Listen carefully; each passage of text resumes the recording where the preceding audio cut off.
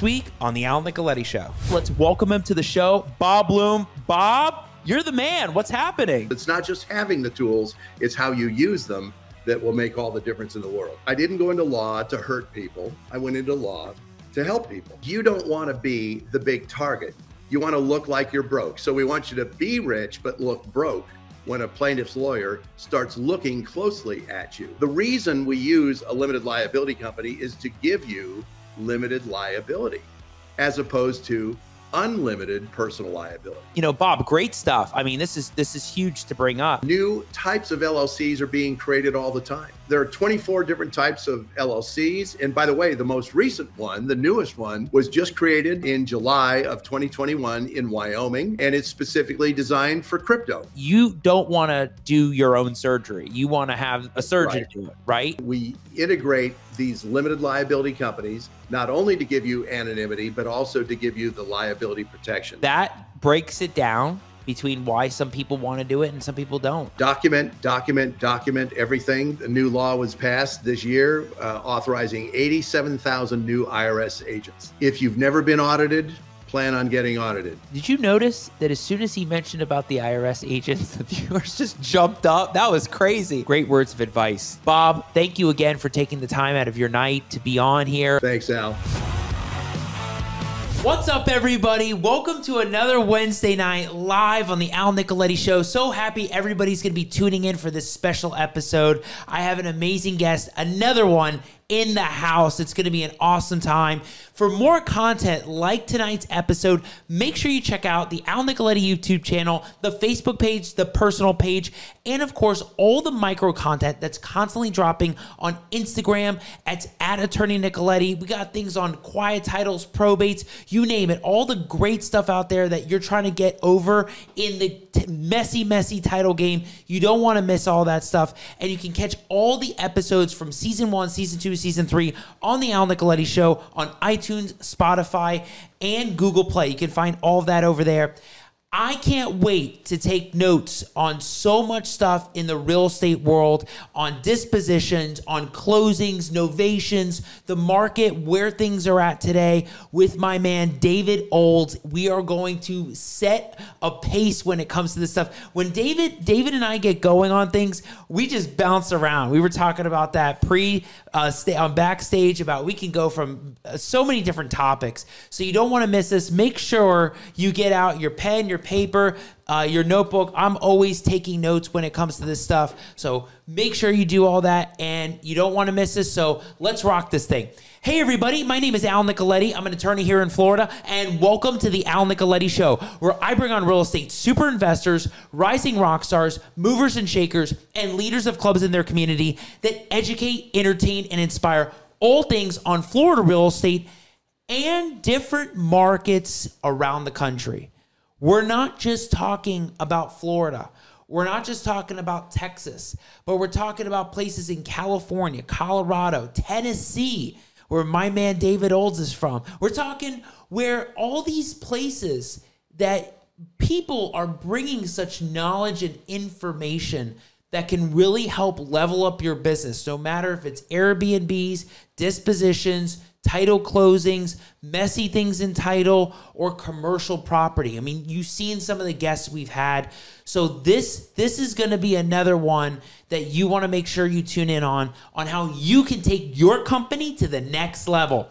On my show today, I have my great friend, the great David Olds on my podcast because this guy, I love him. When, when we met, it was crazy. You know, we see so many people out on on the internet doing reels, doing different content, and it's so crazy when you finally get to meet those people in person at a conference. And I remember the first time I finally we you know we're running the show, David's David's commented on the show, we've gone back and forth on social media. Uh, but the first time I get to meet him is at Tim Mai's Hero event, and it was crazy. I see I see him d- when we're having breakfast, I'm like, wait a second, there he is. There's David. Uh, you know, finally we get to connect, and it's so cool because you get to learn a lot about what people are working on, where they're at in their business, what they're doing, and David's a wealth of knowledge on the disposition side of real estate, in the title closings, getting into some crazy things, not just in one market but nationwide, dealing with so many people that are all over the country. So you can learn something that David's done and what he's working on that can help level up your business.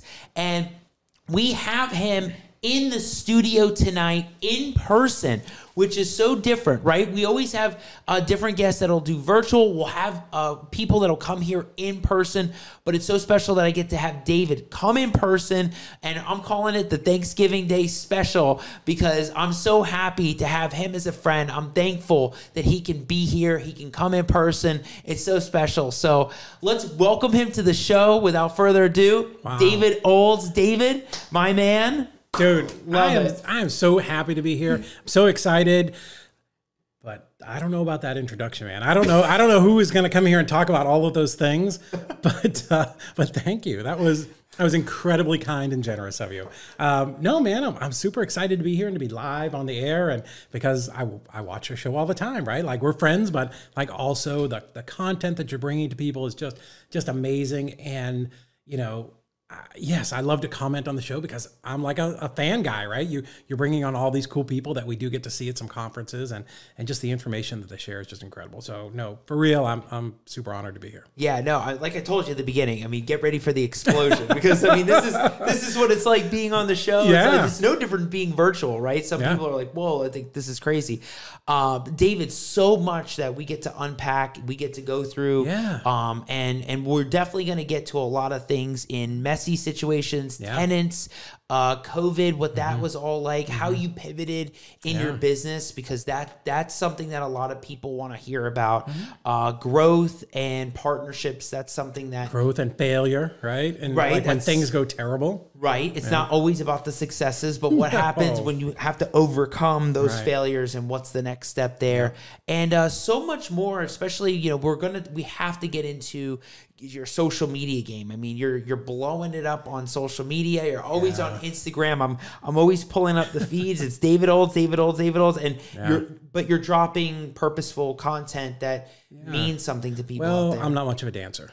You know, so there's going to be no no dancing and no skits, right? I don't. That's not. Uh, I'm certainly not good at that. So we're just going to talk about some real estate stuff. You got it. No, let's do it. So, uh, as I do with all my guests, yeah. and I think it's so important that we have an idea of your background, mm-hmm. like where did where it all started. Yeah, in, mm-hmm. in this ends up being a loaded question I mm-hmm. ask, right? You know, where did you begin? How did it all start? Where are you at today? But no, yeah, but, but really, like, what's the journey? What's the story of David sure. Olds up until today? Well, so mine is probably a lot longer than most people because I'm old. Like I'm an old guy. I'm 51 years old. So it's really funny when you become that old guy. Like that's not how we did it in my day. Like it's pretty depressing when you get to when that thought goes through your head. Um, but for me, so um, where to start? Let's see. Married my wife in 2002, and we bought our first house. So it starts very simple like that. Um, I didn't think I could qualify for like I didn't think any of the things that were going to happen. I'm like nobody's going to give me a loan, right? Mm-hmm. Just mm-hmm. why would they? I'm a nitwit kid and uh, try not to swear. But uh, you know, I'm this goofball. I got like a job and it's paying pretty good, and I was managing hardware stores actually here in Florida. Scotty's hardware stores. Almost probably nobody is remembers them because they've been gone for about 15 years. But uh, yeah, so with my wife, we're buying our first house, and this was in the days when your realtor said, "Here is a packet." You know, of 40 houses. Go drive by them and see what you like because it was pre-internet. Mm-hmm. 2002. Like there was none of any of this existed. But anyways, so we find a house, we we decide to buy it and uh, I go in, we buy it, we come back out and I said to my realtor, I'm like, DJ, her name's DJ Rivera. Awesome. She's still a, broker here in Florida. I said, I don't understand why I bought that from Wells Fargo. And she's like, well, dummy, it was a foreclosure. I'm like, I like, What's that? What does that mean? Right, right. Like I don't understand what that means. Right. It's like, oh well, you know, somebody had it, the bank took it back.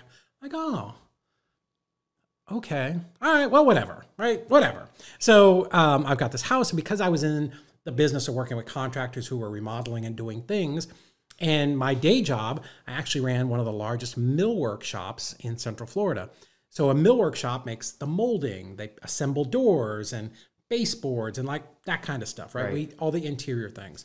So um, you know, I grew up. My dad was like he was a military guy, but you know, we fixed houses and stuff. So anyway, so we get into this house. I'm like, oh well, I can upgrade this casing around the door to three and a quarter inch stuff because I was in these million dollar houses. So I knew the things that were that added value. So we spent. Um, I guess we lived there for two years. We took out the carpet, put in laminate, nothing complicated, right? I've replaced like five and a quarter inch baseboards around the house, uh, you know, nice casing, a little bit of crown, changed out a sliding door for French doors, like nothing complicated. And a little over two years later, we wanted to move closer to where I was working. And um, we sold the house and made a really good profit. So again, now same realtor, we're going back into the closing two years later. And she says, Hey, you know, DJ says to us, "Hey, so you know you don't have to pay taxes on this because I was a little concerned. We are making like fifty-two thousand. I'm like, oh, that sucks. I'm gonna have to pay I don't know what a third or whatever. She's like, no, dummy, no, dummy. I'm like, what? She's like, oh, it's homesteaded or you know whatever it is. You lived in it for two years, so you don't have to pay taxes. I was like, oh, really? Like that's a thing? yeah, because I'm like 32. I'm like, I don't know, right? How, Right. How, how would you know this? It's my first house. So I'm like, oh, okay. Well, cool. Like, so this is that's that's good, right? 50 grand right into Hip National Bank. So okay, so we went and bought our next house, and this was in DeBary, Florida. And this house, it was a beautiful subdivision. It was like Oak Run Court or something was actually the name of the street, but this really nice subdivision, all like beautiful brick Florida houses, like the oak trees, like really nice neighborhood. Not a place I should have been probably living, right? Because I'm Right. a goofball.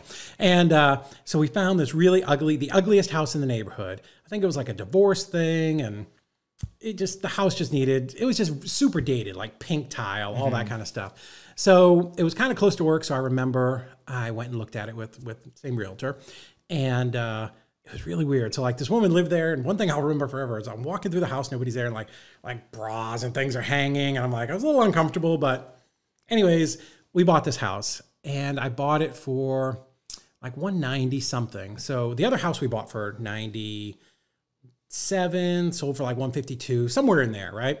So this one, I like, I was buying more house. So I was a little nervous, right? Because I was stepping up. And uh, I wanted to get it for like 170 and ended up like 190 or something. And I remember my wife did not even walk through the house before we bought it. I walked it and I called her. I'm like, hey, uh, we just went through this house. It looks, I think we could buy this and fix it up. She's like, okay, buy it. I'm like, it's not really what I was looking for. I was looking for somebody to like pump the brakes a little bit. And my wife, God bless her, she's always like up for an adventure. Like, yeah, do whatever. Like, we're good. Want to invest 100 grand in oil? Yeah, we're good. Like, it's fine. But isn't that like a, a good spouse to have too, right? Well, One it's you can- supportive, right? Right. So you want that. Like, and we could definitely talk about spouses and partnerships, and uh, you want somebody that's on the same journey with you. That's that's in it for the long haul. Yeah. But we'll uh, include that in there. Yeah, yeah, yeah. But yeah, so my wife's like, oh yeah, well, like you can do it. We'll just it'll be fine. We'll just buy it. I'm like, okay. Yeah, 'cause you kind of want to check and balance, right? But Right. but my wife Heather, she's she's awesome. So so we buy this house, same kind of thing. We fix it up. I mean, this one we did much more work to. We you know laid tile in the whole house, um, new kitchen, brought in like 14 loads of dirt in the front to level out the yard, sod. Like it was a bigger rehab and we sold that one for a little over 300,000. So now we made 100,000. Now I'm like, boy, we should figure this out. Maybe my dad was right. He always told me when I lived in Florida, I moved a lot for that company. I moved 11 times in nine years. And I do remember him saying, you know, dummy, no. Um, I just have this thing of being called it, I don't know, dummy in my head. But he's like, you know, if you just quit renting these houses and just buy it, you could keep it as a rental. And my dad, he, I guess he had his real estate license when he was younger. So he had a little inkling of real estate, but he wasn't an investor. And I do think back to that. You know, there are always those things in your life that you'll you'll go back to and remember. And like, boy, how smart was he? If I'd have bought 11 houses back in the 90s in Florida, Right. in Key Largo, Oh, Homestead, Largo, Florida, um, you know, Boynton Beach, and all those places where I lived, I'd have never had to do any of the things that I'm doing now, right? But, you know, I didn't. So we sold that house.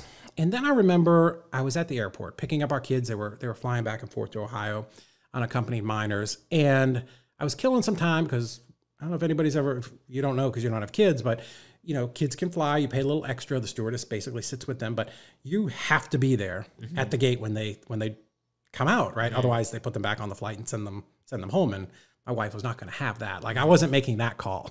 she wasn't going to be understanding about that at all. So, anyways, so I'm there like an hour early. I'm at the bookstore, and this is the most cliche thing. I'm standing in the book racks. I'm leaning on the thing, and I'm just flipping through books, and I'm reading this book, and I'm like, oh, this is really good. I was like 10 or 15 pages into it. I'm like, okay, I got to go. Let me buy this book, and I'll take it home. Rich Dad Poor Dad, right? The, the dumbest thing ever. It's so cliche. Nine out of 10 real, real estate investors start with this book. And I don't know why I picked up this book on that day, but I did.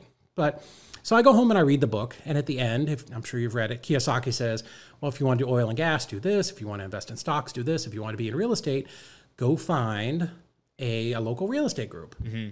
So I've never been the smartest person, but I'm very good at following directions, right? I don't need to reinvent the wheel. Right. So I go to my computer. I want you to picture this, and it's like this big box monitor. Like now we're in probably like 2004 or five, right? Like there's not even Google. There's definitely not Facebook. There's like web crawler.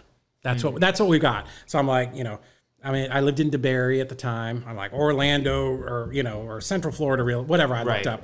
And I pulled up, and I had done a little bit of research now, trying to like, oh, I need to do a you know figure figure real estate out.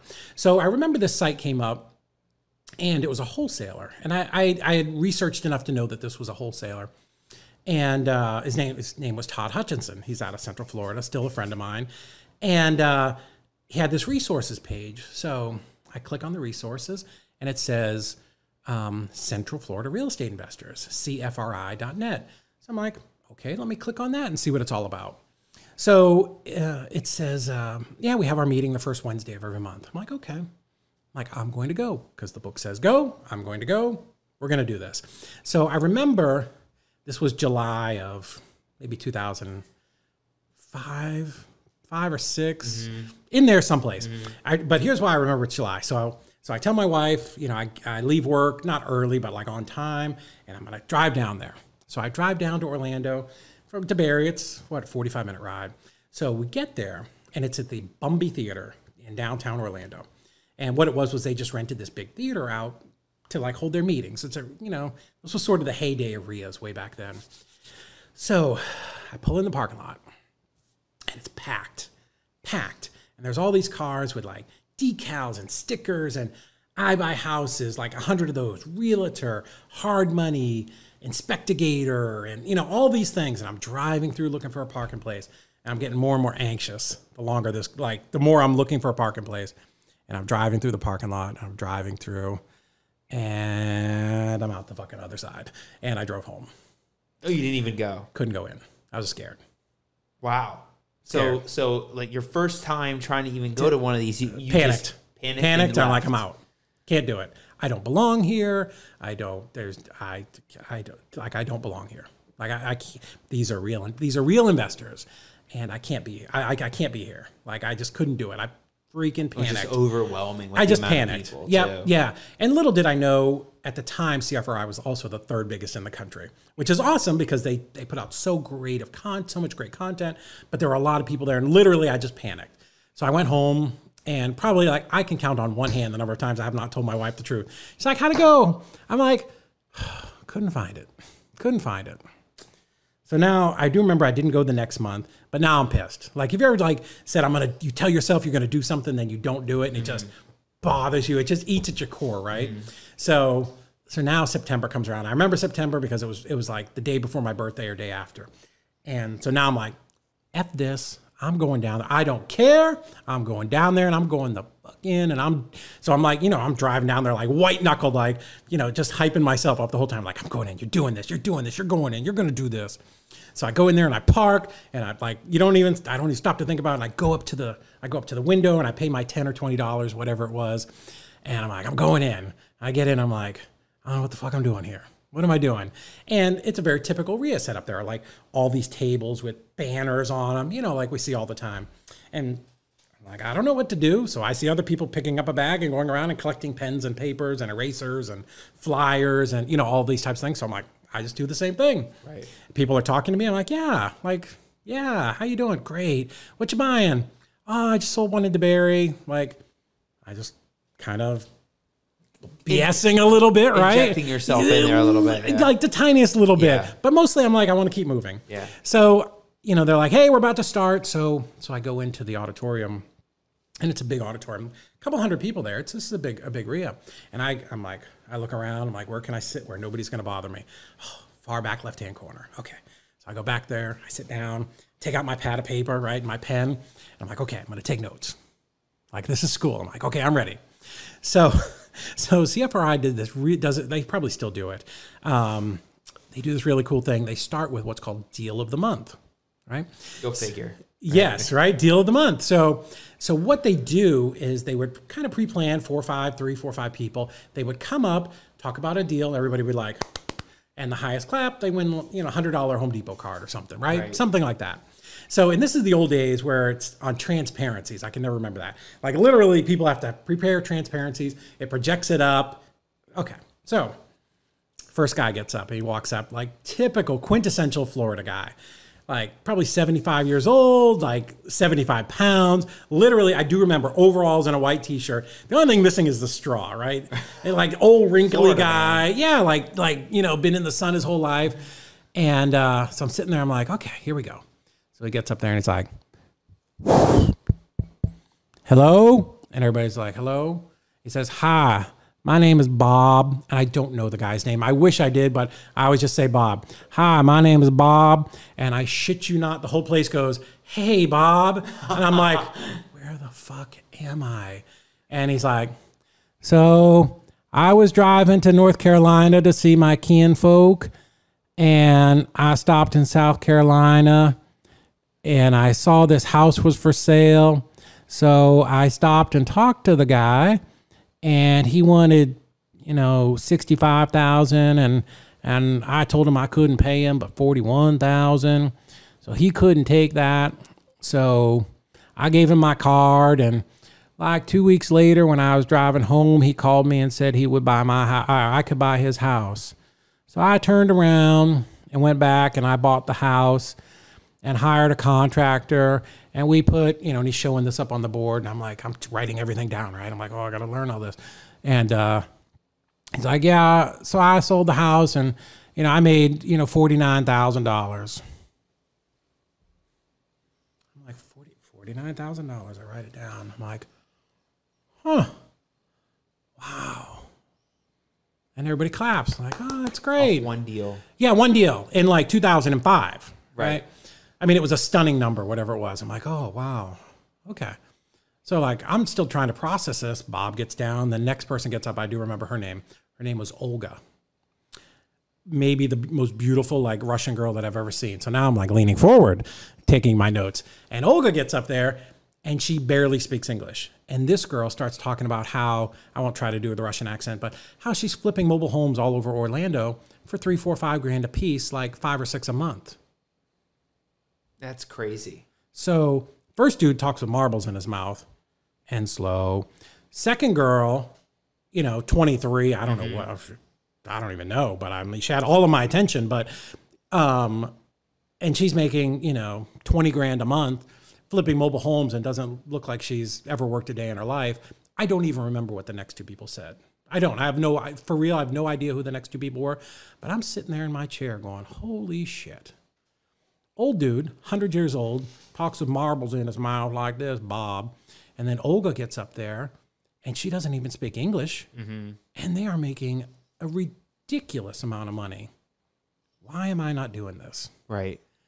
And again, we talked earlier, like there are those things that just cement themselves in your brain. And I go back to that that very moment all the time. I'm like, I understand you do not have to be smart in real estate. You don't have to be smart to make a lot of money. You do have to do something to do it consistently over and over and over again. So that was my very first RIA. That's that's really crazy of a story because now you do you you hear what these people are doing, right? And can you imagine what Olga's doing now? She's probably buying Oh, who knows? commercial I'm trying to find her on Facebook. Can't find her, right? by Yeah, now, right? yeah, right. Uh, but you hear those stories, and what was your next action step? So a lot of times you'll get new people, Mm-hmm. Yep. you know, and people that are watching, you know, some some are new, some are seasoned. Uh, you'll have different people that will show up at a RIA maybe in January, 1st time. You know, they want to start the year.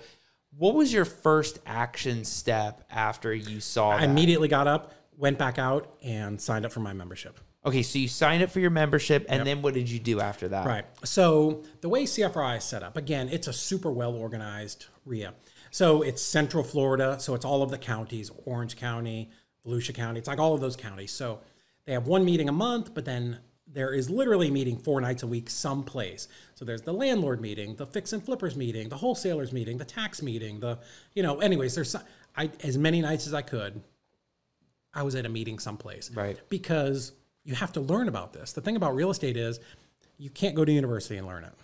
They're not going to teach Yeah, you know. they don't teach you any of Right. And I get people that come into my office all the time like, "Yeah, I wanted to learn about real estate, so I was going to get my realtor's license." And I I try not to do that. Because- hard, because right? It's so disrespectful.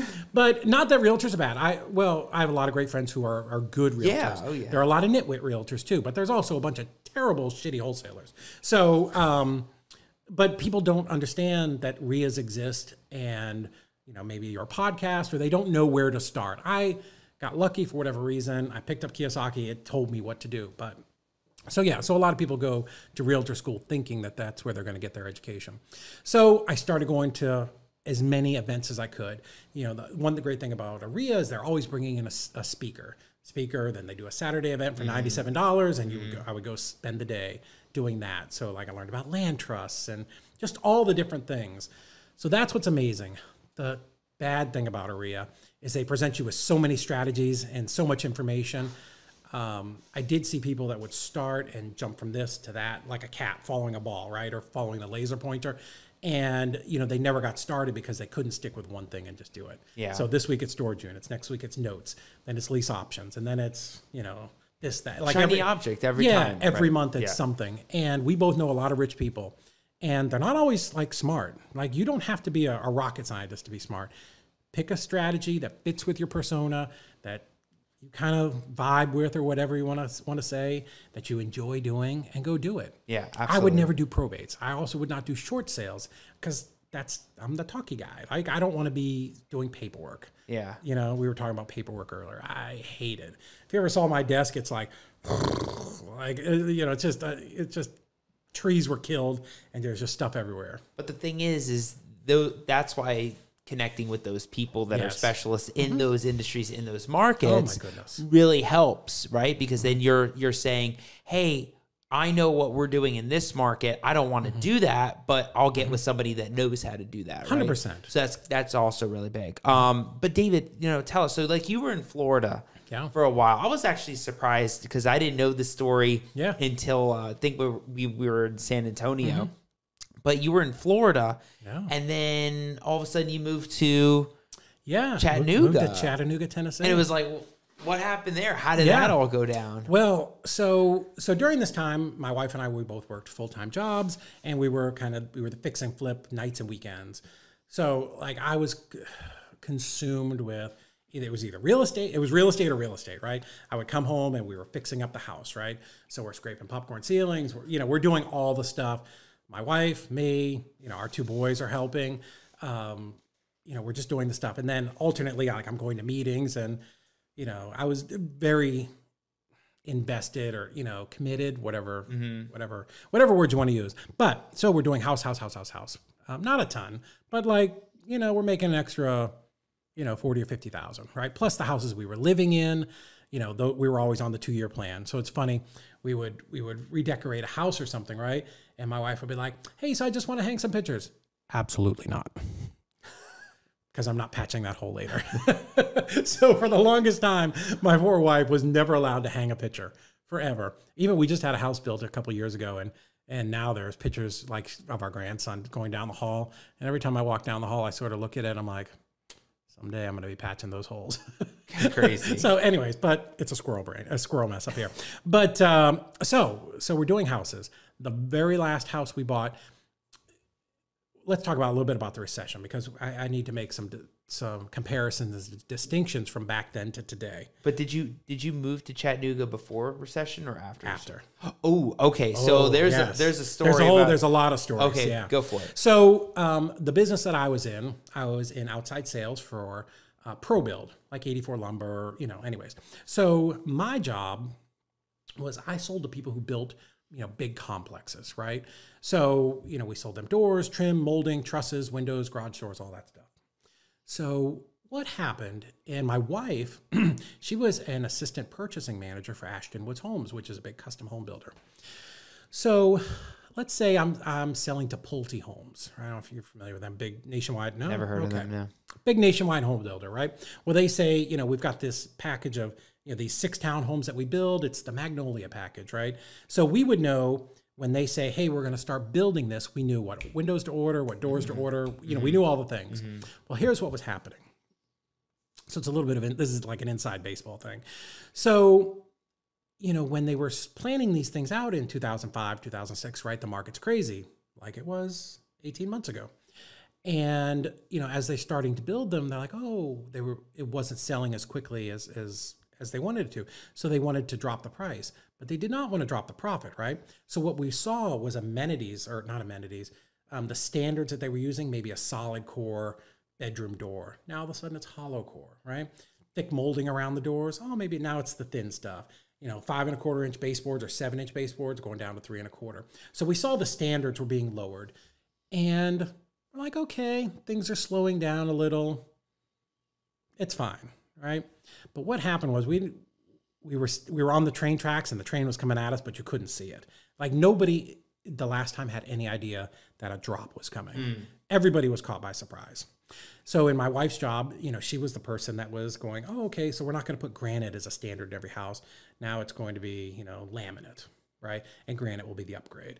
Still going to charge the same or really close, but anyways, so so on the building and construction side, we started to see those things happening and like we felt like we weren't selling quite as much, but like this was over like 18 months. Like it was very gradual, very very slow. Whereas this time, what happened? Fed raised the rate. It was like somebody pulled the emergency brake, mm-hmm. right? Do you know why? Do you know what the difference was? What was the difference? You don't know? So that's 2007, 2008. Oh yeah. Oh, all, all the subprime mortgages. Nope. Nope, it's What not was that. happening? Social media. See, back then you had the Wall Street Journal, whatever paper you read, and you had Dan Rather at what 5:30 or 6 o'clock every night. Now what do you have? Instagram, Facebook, Snapadoodle, Snap, whatever, whatever they all are, right? So now the the dis, the uh, you know information gets transmitted so much faster. So now information is just out there very quickly. So what happened this time is, you know, and there's 40 24-hour news channels and you know, and news leads with bad, you know, the, with the bad news. So what happened this time is they had that rate change. Well, we had rate changes before, but all why was it so quick this time? Because now the information is out there. Everybody's got a phone just continuously. in Right. Everybody. Yeah. Especially now more than ever. Right. And now there's more investors probably than there were before. And, you know, who does this affect? Well, this affects your guys who are fixing and flipping and rehabbing, right? Or your landlords who need to go get a, a loan to burr out of whatever project they're in. Well, those people are very invested in real estate and they're always they're attuned to what's going on, right? Because again, you can pull out your phone and go to Bloomberg or CNN or Fox or MSNBC Right, right, or right, whatever it is, yeah. right? So they know they knew instantly what a what a rate change was going to do. So literally those guys just like stopped. Everybody stopped and it's panic. It's you know, there's a lot of stuff. So that was the difference, right? So so I knew and I'm, I'm I know I'm jumping ahead like we knew something was going to happen like today. We knew we were over, probably going to go over that cliff, but we thought, oh, it's going to be gradual like it was before. It never dawned on me that boy, this is going to happen so quickly. So that's that's the difference. So back then. So we knew things were slowing down. We knew, well, first off, we wanted to buy multifamilies, right? Like everybody, every single, Everybody wants to every, yeah, every real estate investor is like monopoly, right? The house to the duplex to the quad to the, to the big, to the big thing. So, so, um, and we knew that we probably wanted to do it someplace else than Orlando because Orlando's very expensive. So here's what happened. We, we buy this house. It's a probate. Bought this. It's a very typical Deltona block house, very Florida, you know, built in 1980, right? You know, so we bought this house for like 99,000, something like that. Literally the same exact house, one block over, two blocks down, had just sold for 214. Hmm. That's a deal, right? 99, 214. We're going to be good, right? We're going to, you know, we're going to take this money and we're going to start investing someplace else. So in the meantime, I go to Boston uh, to go with my brother Thomas, and he wanted to start investing. And uh, we go to this boot camp. Dave Lindahl's boot camp, um, and it's on uh, investing in apartments and emerging markets. Great. So I wanted to learn about apartments. You know, there was no Tim Bratz then. There was none of these people, right? Do you know Dave Seymour? Yeah, heard of Dave. Dave was the MC at that event. Really? Back then? Way back in the day. Like I think he was oh. still a part-time fireman at the time. So it's funny. I, I did didn't know that story. Oh yeah, you didn't know he was part time. He was No, a fireman. no. Oh, dude. you I don't- I don't You know know he was on. TV, right? No. I just see him like he's in he's in the masterminds, Yeah. he's at all the Dude, conferences. he, he had he had a show for like a season fixing up Boston. Heard of that. Him and his partner. Huh. Well, this is be- way before any of that. It's such a side note. But anyway, so the first time I saw him in the family, I'm like, Dave, I saw you Dave Lindahl's thing. But anyways, so Dave Lindahl, really smart, written a bunch of books. If you want to read a great book on emerging markets, um, Dave Lindahl, it's it's marketplace or uh, investing in apartments and emerging markets, something like that. It's a really great book. Maybe we can figure it out and drop it in the comments here. But yeah, absolutely. so, so with Dave, we do this four day apartment thing, taking notes, trying to learn how to how to do this. But here's the last day. I'm, this guy is so smart. We're in this we're this room in Boston. There's probably five, six hundred people, and they're shooting up on the screen. It's a big map of the U.S. and he's got a laser pointer, and this guy's literally going city by city throughout the country, going, "Here's what's happening." This is why this market's going up. This is why this market's going down. And like by this point, like you could start to feel it more and more, right? So we're, you know, down the timeline, like we're starting to feel something, something's going on. And so he gets to Chattanooga and he says, uh, so Chattanooga, really great market, very small, 160,000 people. Volkswagen has picked Chattanooga to operate or to uh, open their first U.S. production plant. Like, well, that's pretty big. He said it's going to bring in 20,000 jobs. I said, there's only 150,000 people there. That's a lot. That's a big. That's that's bigger than more than ten percent, right? And not that twenty thousand people were going to work at the factory, but there's all those ancillary jobs, right? The butcher, the baker, the candlestick maker, right? The guy who drives a truck. You've got the factory, and then you've got all the suppliers. There's just a lot of jobs that come with it. Like, oh, that's pretty cool. He's like, but not only that, Amazon is opening up a fulfillment center there, and then another one in Cleveland, Tennessee, which is twenty miles north. Like, oh, well, like that's all he's talked about all day is, you know, how markets, you know, just because one mark we say the U.S. right, and you know, by this time, you know, Dan Rather, the Nightly News, like things aren't so good. Things are a little bad, right?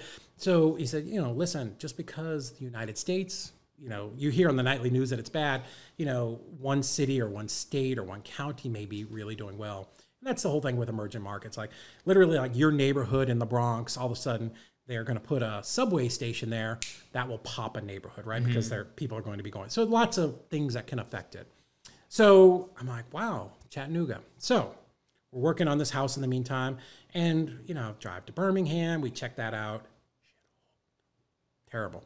Montgomery, Louisville, Kentucky, and we went to Chattanooga. And I'm like, okay, I really like this. Like Chattanooga, we we like this. We're, we're I think this is where we're going to invest. So we didn't initially have the idea that we were going to move there. So we buy this last house in like July of 2008, and uh, working on it. Like I put in new cabinets. I bought these knockdown kitchen cabinets where you put mm-hmm. them together. Mm-hmm. Terrible. Don't ever do that. Mm-hmm. Pay to get them. Pay to put them together. But like I laid like 1,700 square foot of like tile on my hands and knees and scraped popcorn and did knock. I did all the things like because we fixed them up ourselves. So I finished this house in like maybe like the second week of November. I call. I have a new realtor now. Shayna, I call her and uh, like, hey, Shayna, so we're ready with the house. Do we want to put it on the market? She's like, you know, you should probably just wait until January because it's the holidays. Nobody really moves, and you don't want it just to sit on the on the market till January, and then you have 40 days where nobody's bought it and it looks bad. Perfect, makes great sense. So we're back and forth to Chattanooga. I'm with my brother at the RIA, and he's on his old like sidekick phone on Craigslist, and he finds this uh, duplex in Chattanooga that's for sale. So because we're in this class, he negotiates this sub two deal with these people who had left the left and moved to, to like Las Vegas. So like a lot of things are, are kind of going on. Um, we end up buying this duplex. We go up there for a weekend. He he decides to stay up there and fix it up because it was vacant. And uh, now I'm going back and forth.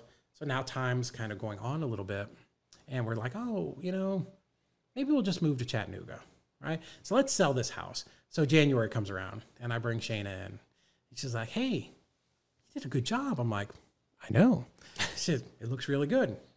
I know, I, you know, I know. You did it. It looks great, right? I'm like, so we're sitting like this at the kitchen table, and uh, like, so what do you think we could put on the market for? She's like, well, papers, you know, because it's before the internet. Um, I think you probably could put it on at about 144. Shayna, one block over, two block, 214. Oh yeah, but things have changed. Market I'm like, changed. Yeah. since July, 214 in July. So when it when it did finally hit the bricks, though, it hit the bricks hard in- in, Florida. I'm like, no. She's like, oh yeah, well look, this one, you know, right down here at the corner, it sold for you know 90, and then this one over here 170, and you know, she's like, I think 144 is your number. I'm like, absolutely not. My house is nicer than all of those because I'm such a smart new investor, right? Because I know I'm so smart. Because I've sold a couple houses. I'm like, my house is nicer. It will sell for more. She's like, what do you want to do? I'm like, I'm going to tell you, I thought I was the most magnanimous motherfucker who's ever walked the face of the earth when I said, I'll let it go for 165. Because now, like, we're moving. Like, I've got this in my head, right? We're moving. She's like, okay. Like, your realtor doesn't care, right? Out she goes, sign in the yard, sign here. So this is January. Nothing. Not even, she doesn't even get calls. Wow. Nothing. So now February, and like, I've told my job, like, hey, I'm probably gonna leave. My wife, she she has lost her job now because now like cuts are starting to happen. So February, I'm like, hey, Shayna, like, what's going on? She's like, oh, we're not getting any calls. I'm like, all right, how about 155? She's like, okay, like, like it kind of stunned me that she was, you know, because now foreclosure, now all those foreclosures that have been happening for so long, now they've hit, right? Yeah. We used to do foreclosure. Um, there's a company in Florida, Foreclosures Daily. Well, years Oh, yeah. ago, right? Oh, yeah, yeah. they've been around forever. They're well, we sub- yeah we subscribed to them, and I remember at like 10 o'clock every night they would they would go live online with all the filings across the state because they literally had somebody that would go right? So my wife would stay up. We would mail merge because we bought this program from somebody at the RIA. We would mail merge and send out those letters the next day. And sometimes now that's just the filing of the lis pendens right? So that doesn't mean like it made it to joe's house. Well sometimes our letter was getting getting there before hmm. which makes for an awkward conversation but anyways, so now all those foreclosures that everybody's been targeting for years, now they're coming out on the market. Yeah. Right. So there was that that time delay. So, anyways, so You know, now one one thing that I really take away from this whole thing is that emerging markets can happen anywhere. yeah, But you really can pay attention to where that emerging market is, mm-hmm. and you you, you you zeroed in on it. You found that okay, Amazon was going there. Uh, was it Volkswagen? Yep, Volkswagen. Volkswagen, and that yeah, the population actually wasn't going to be as big as something like Miami or Jacksonville. right. But a lot of people struggle to find what that next emerging market is. it is, but it's there. Like the the data is out there if you if you know how to go look at it. And and and so And I'm probably the biggest proponent of this book. Like every, I'm always talking about it. And- why don't we talk about that Yeah. though? Because in this market that we're in right now, Mm-hmm. that's going to be really hard. Uh, prices are are. It depends where you're at, right? Prices are really high, but then some are coming down, and then some areas that you wouldn't. I mean, think to touch. I mean, especially in Florida. I mean, who's going to Putnam County, right? Right. people are buying there, Yeah. or who's who is going to Chattanooga, who is going to Knoxville, Yeah. or some of those those areas. Yeah. What are some what are some of those best strategies to finding that new emerging market that you've seen from your personal side, Mm-hmm. Yeah. not not just from the book, but like Right. how you're analyzing that? So, so here's one of the reasons that we finally decided in, on Chattanooga. So in Florida, it just it died really fast, and here's why. Florida, as a state, is like a three-legged stool. Do you know the three? You know the three industries that that Florida lives on? go for okay, um, entertainment, travel, Disney, yeah, Universal, yeah, right? That's yeah, easy one, right? Construction. It's a huge construction because so many people are coming here. Um, I read something. I don't want to misquote it, but it was like. 40 something percent of the people in the state of Florida are somehow tied to construction. Hmm. A distributor, they're the plumber, they're the electrician, like rooms to go, like whatever. And the the third leg is agriculture and um, livestock. You know, Florida's a big livestock state. Most people don't know. So so what happened in the recession? people definitely stopped traveling. Construction stopped. So no wonder the that's why the state collapsed so hard. So knowing that, when I'm looking at other markets, right, I said, well, I don't ever want to be in a position where we're exposed like that again. Where if one sector dies, like even if only one of those, are, like it still would have fallen, right? Right. Because it were- it was so heavy.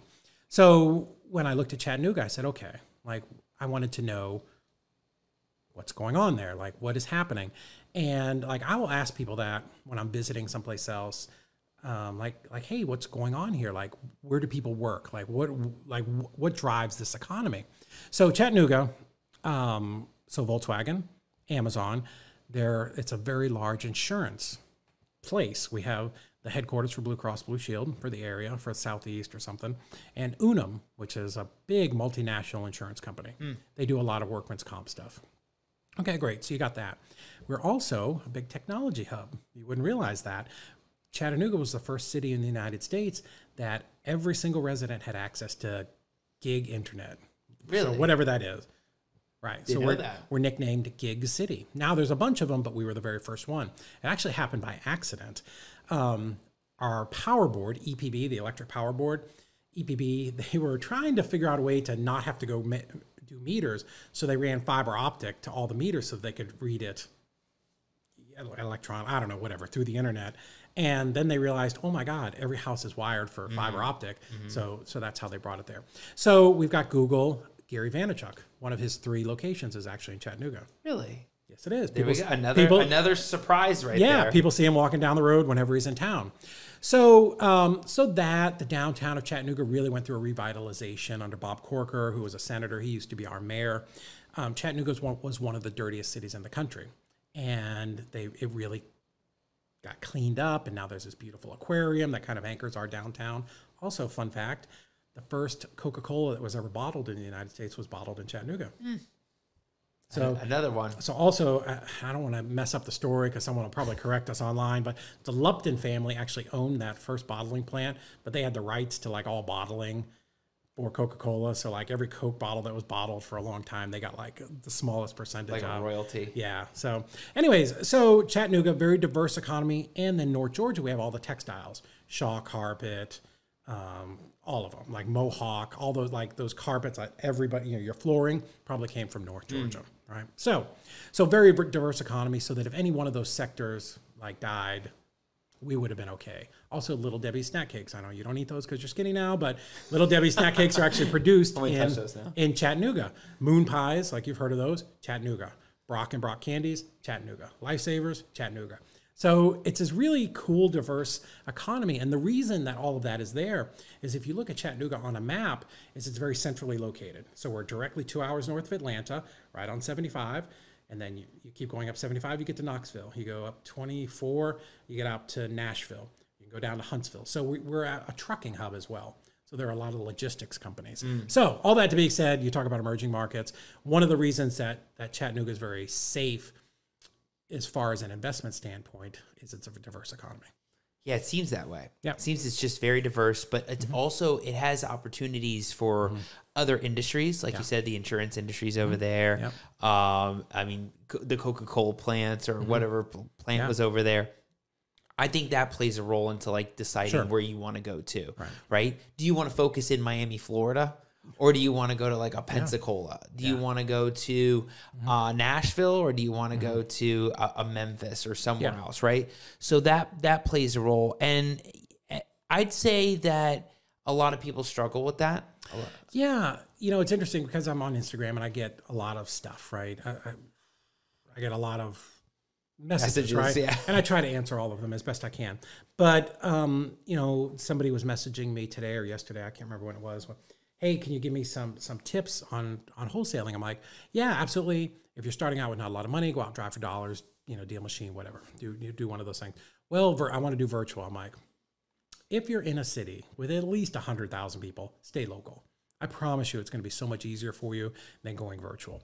I think people in the guru world, and we're probably a little part of that, sell this idea that you can, you know, virtual is easier, and it's really not.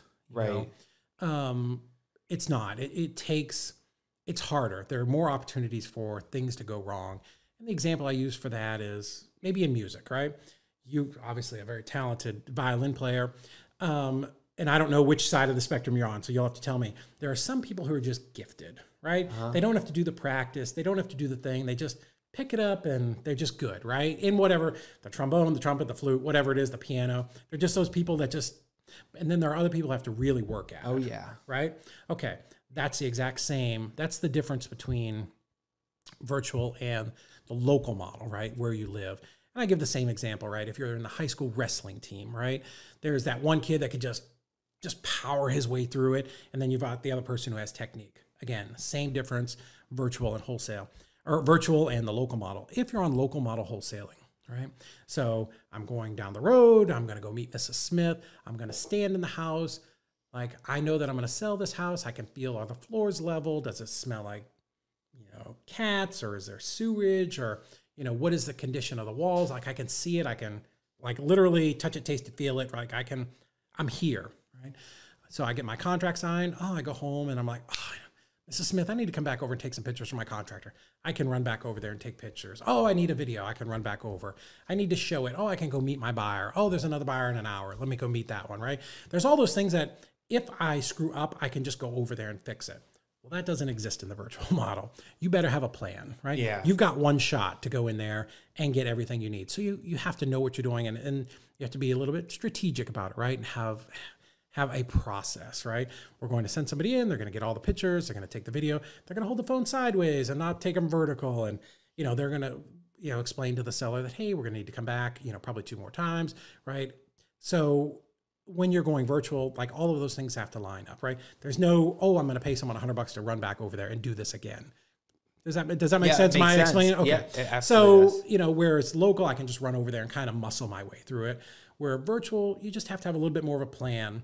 And what I tell people is, if you're not good at local wholesaling, going virtual is going to expose every weakness you have very quickly and Yeah. cost you probably a lot of money. Yeah, and, and let me ask you this: so you do? I mean, we'll get to the closing side of stuff Yeah, well, yeah. because we got to talk about novations. we got to talk about all that stuff. We had Corey Geary on, talked mm-hmm. all about that. Mr. Novations. Yeah, he he's the guy that comes to you for all that stuff when it comes to dispo and closings. So we'll talk about that. Um, but where is wholesaling going right now today? Like, where where are things really Mm. headed? Because you know the whole that's a whole process. David's got a whole course on dispo, and, and you'll, you'll be able to drop that too. But um, I think instead of just talking about what wholesaling is and how people get in the game. Yeah. where is it heading for people that do want to get started with it, Mm-hmm. and for those that are already in it? Okay. So, so we're going to go back to the market cycles a little bit. So, you know, a market, it's a bell curve, right? It goes up, it goes down, it goes up, it goes down. One thing that Lindahl says is, you know, every market cycle from point to point, whether you're measuring bottom to bottom or top to top, five to seven years for the most part, right? That's roughly about right. Texas, for some reason, has been on this incredibly long run, but most markets five to seven years. So again, when we when we talked about moving to Chattanooga, we're like, oh, we're going to go there. We'll buy a bunch of houses. We'll stay for five to seven years. We'll sell them. We'll go someplace else. We'll just pick another one. Well, fell in love with the city and the people, and one day you'll come visit. And but it's a great place, right? It's just it's a fabulous place. So we decided to stay. Um, but and here's one of those moments. What was the question? Remember, I told Where- you I, I get too many things going in my head. Where where do you think Oh, yes. Okay. going? Yeah. Right. Perfect. Okay. Thank you. So, I told you that would happen. So, anyways, bell curve, right? The worst and most precarious spot for a wholesaler is as we go over that that curve, right? Because what happens is sellers still think they're sitting on a pile of pure platinum, mm-hmm. right? But buyers recognize that the market's starting to drop, so they want to overcompensate. And if we're talking about price, right? Like, so you know, hundred thousand, maybe Yeah. maybe today's number is eighty, Yeah. but buyers want to be at 60 Yeah. because they're scared and they don't know. So that's where we're at right now. So it's hard, right? 100%. This is the hardest spot in the marketplace to be a wholesaler. Um, any any type of real estate, right? Buyers are backing out of deals. Buyers are backing out. Uh, wholesalers, some of them are even ghosting. Some I just don't even want Mm-hmm. Yeah. to do it anymore. I've Yeah. seen that uh, happen recently. All of a sudden, sh- they're gone. yeah. Right. So when you have buyers that are backing out of deals, I mean, that doesn't help your cause to Mm-hmm. Yeah, get in. It doesn't. So what happened is, remember they dropped the interest rate. Things. The first thing that happened, all the dumb money got out. Right. I always say the doctors, the dentists, the lawyers. Right. Like, but the people who, who were like sitting on two hundred thousand, like, oh, I'm going to buy this house. send my buddy over to paint it and I'm going to resell it and make 40,000, right? That's cool. No problem, right? This isn't the same as 2008 with the, the, the fake mortgages and all that. So those were the first people out because that was the, they, that was the easy money. They got scared and they're like, nope, I'm going to put my money someplace else. Real estate isn't the best gamble anymore. So they got out. Some hedge funds bailed out quick. People talk about hedge funds a lot and they con- confuse it. There's two types of hedge funds, right? It's very they're very important distinction. There were the flipping hedge funds, Zillow. Turns out Zillow was pretty smart. Everybody goofed on them, but mm-hmm. they got out early, right? So that type of hedge fund was the buy, fix, flip, buy, fix, flip, right? They wanted to they wanted to cycle through as quickly as they could. But then there are different. They're buy and hold hedge funds. Those people are still here buying. The fix and flip people, they got out. They got right? out, yeah. and temporarily. Like they'll probably come back. Zillow may not, but you know there are, there are some big big ones that you know, or they were in 150 markets. Now they're down to 25. Right? They've just they've gotten a little bit more conservative. So where are we at with wholesalers right now? So for us in our company, we just hired a sales manager. We're going to six acquisitions, six dispositions. We're like doubling down because I know that at some point we're going to come out of this, right? And I think again, nobody knows. My guess is at the beginning of the year, right? Yeah. I think we'll probably they'll raise interest rates one more time. Then there'll be a little bit of a panic, and they'll they'll probably maybe drop it a quarter just to kickstart the. I don't know, right? Who knows, right? My guess is as good as anybody else's. We'll never know exactly where we're at in the market cycle for three to five years when we can look back and go, oh, this was the top, right? That house that I sold and made a hundred thousand, that was the top of the market in Florida, but we didn't know we didn't know that. We didn't know that for years. Yeah. You know, now looking back, I'm like, oh, we put it out at 329 and we sold it for 314. You know, I was wondering what the problem was. Well, that's what it was. So in hindsight, so three years from now, we'll know exactly where we're at. We could just be in this little dip and then takes off again. Yeah, it right? takes off again. Who knows, and, right? And, and, the house that you should have bought in uh, mm-hmm. Palm Beach County just goes through the roof, right? right. Once again, yeah, I think uh, that's kind of where the market's market's in like a weird flux right yeah. now.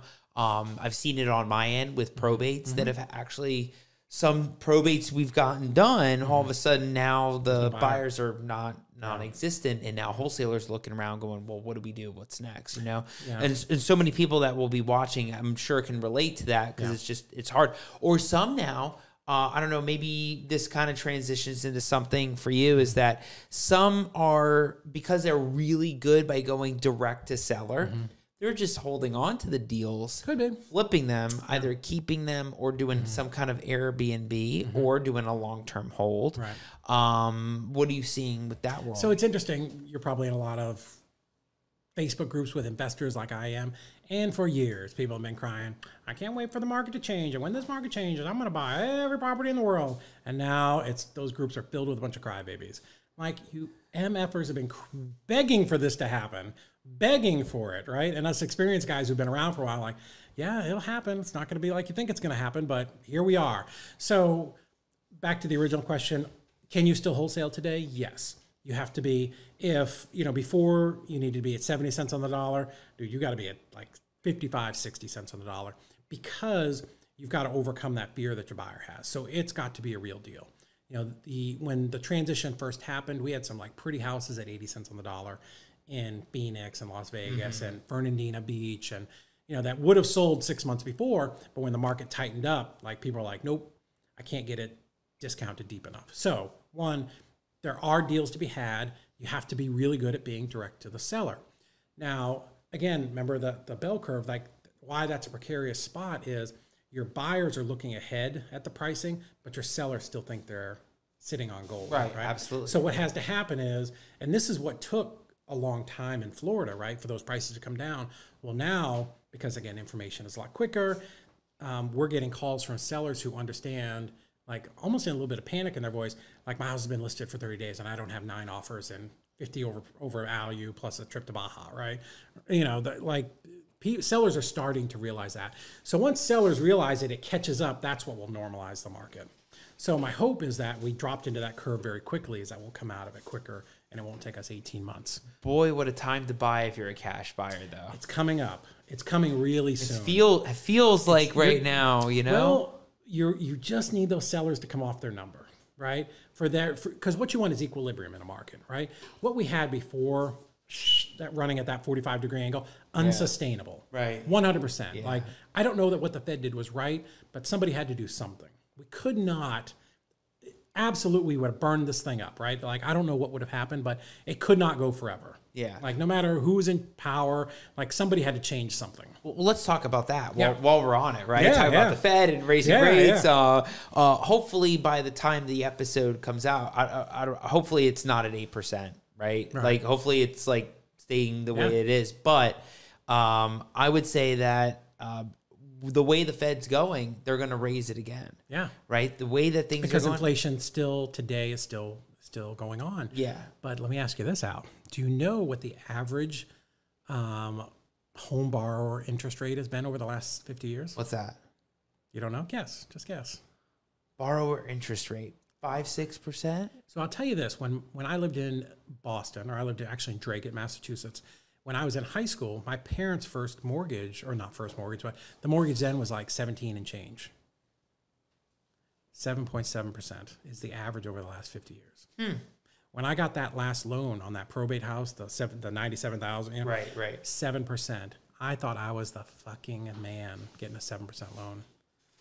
And here are all these other people that are Crying getting now. two and a half, three percent. It's awesome. I refied my house for a 2.2. I love it. Thank God I did. I wish I'd have been smart enough to buy more stuff. A really smart friend of mine, Jeff Holst, he's an attorney, and he bought like he, he got like $10 million in loans on apartments and stuff. So super smart. But here's the thing life is going to go on. Life's going to go on. People bought and sold houses at 10% interest. They did, right? Because why? People still get transferred. Death, divorce, taxes, probate, like all those things Oh, still yeah, happen, yeah. right? Life is going to go on. Yeah, we were in the hottest real estate market in a long time. So why would somebody sell to a wholesaler? Because life still happens. The same reason you take a $12,000 watch in and go pawn it for a grand, right? Life happens. So people are still going to buy houses. Is it going to be at that crazy frenzy? No. What was happening, my interpretation of that frenzy is people were moving up. And that's cool, mm-hmm. right? I'm going to get the nicer house because, you know, the rates are cheap and I can afford to buy more. But, you know, so what is it going to do? Is it going to bring that price down a little bit to something that's more stable? Yeah, but that's not a crash. That's just normalization. Yeah. What would you say to those people out there that are seeing the Fed that keeps raising the rates and it's holding them back from wanting to either get into investing or holding them back from getting more deals? Yeah. Or maybe uh, is it a time for people to pivot and change their system to doing something different? Yeah, I think it's always a good time to buy real estate. Um, you know, I've got plenty of notes that are yeah six and seven percent owner finance notes. So if you're going to to buy, no matter what the interest rate is, right? Like, oh gosh, what do they call it? There's a thing where you, they say to buy crypto or stocks, but buy it consistently over mm-hmm, time because it's mm-hmm. going to average out. If you're buying today, even at seven percent, or if it's eight percent, or if it's ten percent, am I cash flowing at that number? If you're cash flowing, buy the deal right? Because what it, and buy it. You, this is, was the problem back then in the last recession was people were on adjustable rates, right? Don't don't do that. But if you're on a fixed rate, a fixed mortgage rate, and even at 8%, right? It fixed means it's going to be the same payment for 10, 15, 20, Right. 30 years, whatever you're whatever you're doing. and you can stretch it out to to drop that payment. Um, but what are rents going to do? Rents go up, up, up, up, up, up, up, up. You can you can search that like Zillow, HUD, uh, Apartment Finders. I, I did it for one of the courses. We searched, uh, you know, historically rents have gone up. Same thing at like a forty-five degree angle. So if it's cash flowing today at two hundred dollars, in three years it's going to be four hundred dollars. It's, it's just going to keep getting bigger and bigger and bigger. And then maybe rates come down later, and you have the opportunity to refi and and, and increase that cash flow. But you know that happened to us. We I know we're probably jumping way ahead, but we did end up buying a bunch of properties in Chattanooga, and properties that I bought that had $150 cash flow are now 700, hmm. 750. Right. So again, it's not the end of the world. Life is going to go on. This is the new normal. Two percent was not normal. No, a lot of people said that was like absolutely not normal. Some people have said that we're never going to see that again. I I don't know. Who, who knows? Yeah, right? who knows, right? I I mean, Never really happened before. It's not something that has happened at all. I mean, it Yeah, was. I mean, it happened for a lot of reasons. We had COVID. We needed to, you know, I think, I know we're probably jumping ahead, but you know, during COVID, I thought finally the market's going to crash. I'm going to buy a bunch more owner finance deals. Here we are. We're ready. And it defied all logic. Like for three weeks, it stopped and then just kept on going because they dropped interest rates, right? That's got to be the reason. So, will they drop interest rates to that again? I doubt it, right? Like, I doubt it. That was awesome. Hopefully, everybody took advantage and bought some some stuff and got some long term financing. Yeah. But that's not a normal world, Yeah, right? right. It was a blip in time, but for so many of our investors who got into real estate or wholesaling or whatever because it was so fun and crazy and hot, like that's not normal, you know. And when when this when this st- first started happening, like I had investors calling me because you know we train dispo teams to to sell deals, and like people that were on Instagram, like, oh, you guys, you know, six months ago, you guys are stupid if you're not doing five hundred thousand dollars a month, and they're you know they're driving around their Lambo and they're like twenty four, right? Talk being real cocky. Well, they were the first people to panic because they're like, oh my god, stuff's not selling.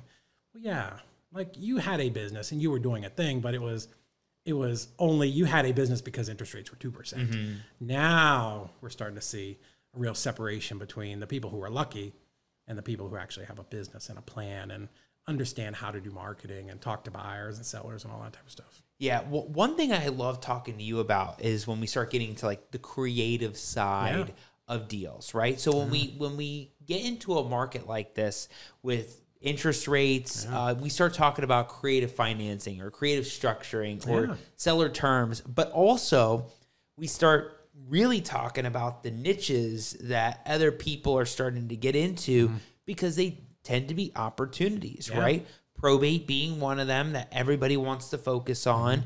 Um, maybe weird things with creative financing and, Yeah. and getting into those deals, but also one of the hot ticket topics that has been just blowing up lately. I, I actually got another email today on it, which is novations Yes. we have to talk about novations because it's coming up as an alternative. Uh, and and when Corey Geary was talking about this on on one of my episodes, um, the big takeaway for me was almost like transparent wholesaling in a way, right? Like being full disclosure wholesaling, but also you're not having to offload it to a buyer. You're almost playing the middleman to go just find the buyer and then fi- uh, securing your position. Tell us because you were commenting on the on the episode too. We Yeah. we loved when you were. uh, tell us the novation world because the novation world can. Some people they're like, oh, I've heard that word, I've heard the term, I understand it contractually, but what does it mean real estate wise? And also putting the pieces and puzzle into place, right? It's just like A lot. it's a lot to digest when you're like, oh, I want to do novations. How? Yeah. What? Who do we go to? Who do we mm-hmm. need to bring? Like, we got to know what that's all about. Tell us that. Okay, that's a lot of stuff. And I'm going to tell you first, I'm not the novations guy.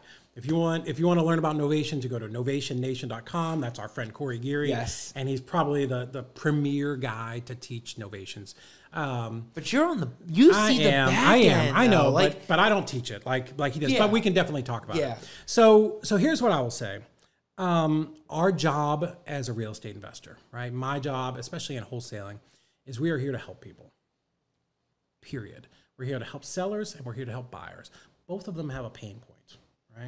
So typically, most people think about sellers having a pain point. And here's what I'll tell people if you go to the top of any tall building in your city with a good slingshot and a bag of marbles, and you start shooting those in a half mile radius around wherever you're at, wherever you're at, within one mile, you will hit somebody who's losing sleep tonight about that house hmm. for whatever reason, right? Death, divorce, taxes, get my kid out of jail, like all the things, right? Like I've done over 1,500 wholesale deals. You know, somebody's got cancer, get my kid, literally get my kid out of jail was a thing. You know, I'm leaving, divorce, job transfer, all the things, right? Somebody's losing sleep. So our job as wholesalers, you know, or, you know, somebody who's buying to fix and flip, right? We're still here to solve a problem. So, um, and this will probably lead to, to like more stuff if you want to talk about creative financing. But you know, our again, our deal as a wholesalers, I want to, I want to flip, I want to flip the property. so I know I've been trying to like kind of keep it, keep it close. but sure. so, um, as a wholesaler, the first, best, easiest option for us is, Al, I can pay you eighty thousand dollars for your house because in my head I know that I can sell it to an investor for a hundred. He can fix it up and sell it for two hundred. But I want to, I want to buy it for for eighty thousand. And you're like, David, I just, I can't, I can't do that because I got a mortgage at 90. So now my cash offer didn't work. Well, I don't take your lead and crumple it up and throw it over my shoulder and let's go to the next person. So this is where people who have a little more experience and a little bit of training, which is that stuff that we got at the RIA or from you know mentors or coaching, right? Well, now I look and I say, okay, so and again, at this point, we've got rapport. I know why you're selling. I know your timeline. I know all of the things, right? So now I look at my tool belt and say, okay, what is the thing that solves your problem, right? So maybe you own this house free and clear, and I say, Al, let me ask you a question. I know you really want ninety thousand. I'm at eighty, or I'm at sixty, whatever it is. Let me ask you a question. Do you need all the money at once? And then you answer. Maybe the answer is yes. You know, yes, I've got 3 Mm-hmm. I, I've got three other heirs, and everybody wants to be paid. Or no, you know, I really don't.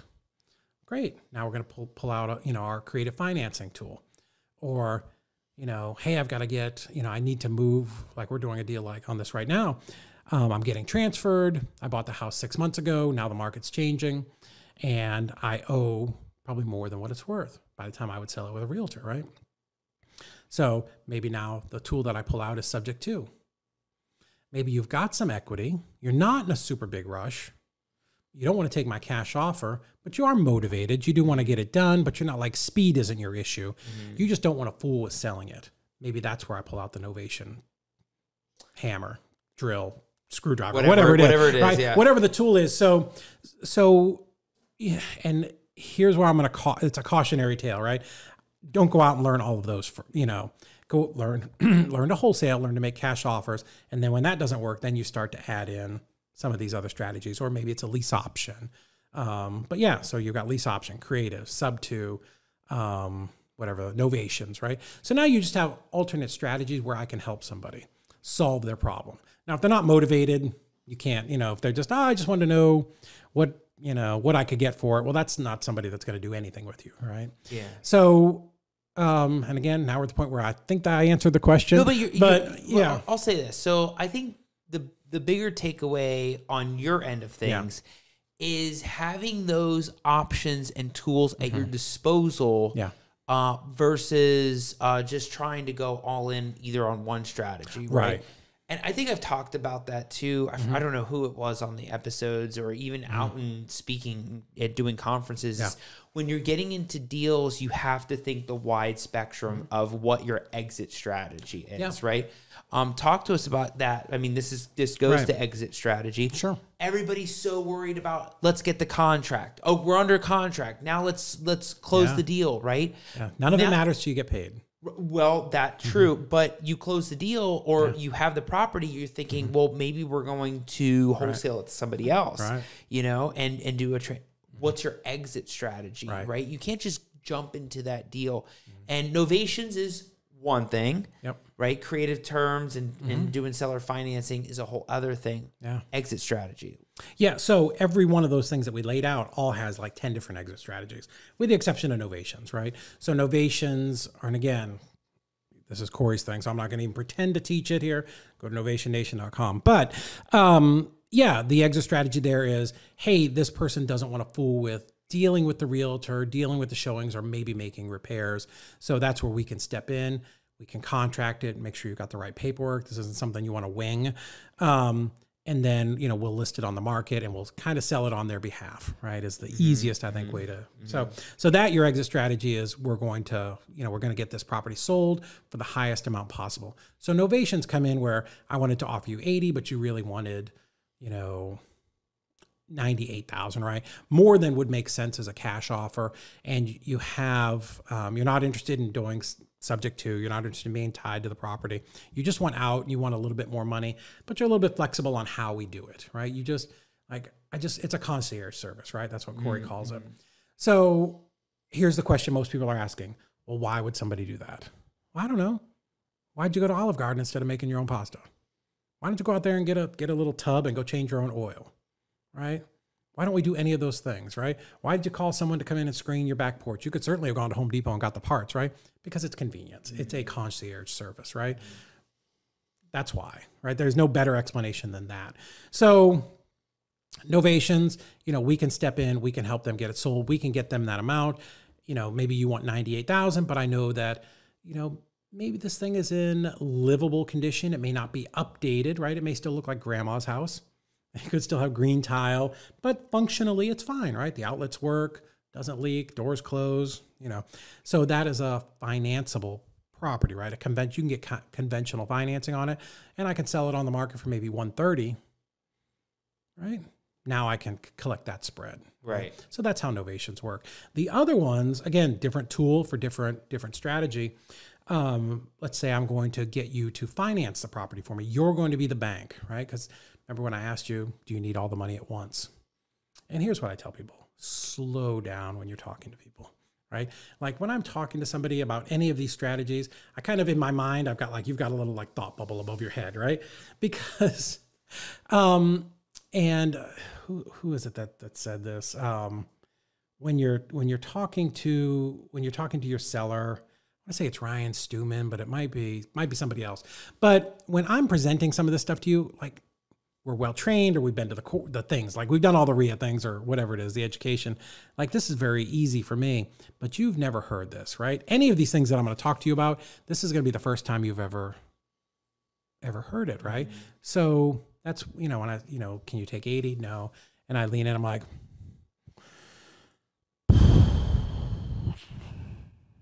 Well,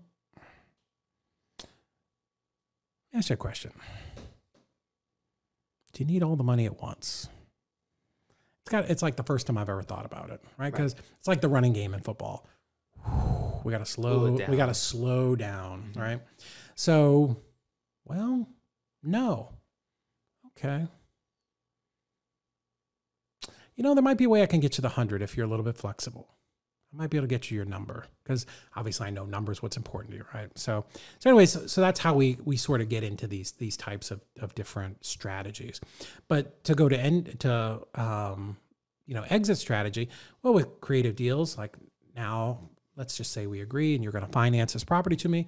Now I can keep it forever and rent it, or maybe I just finance it for you from you over six or eight months while I fix and flip it. Right now, I have leverage. Right, I don't have to go out and get a hard money loan or private money loan or bank loan or whatever it was.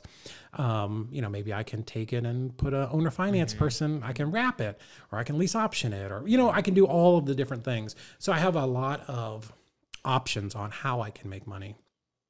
Same thing, subject to. I buy your house subject to.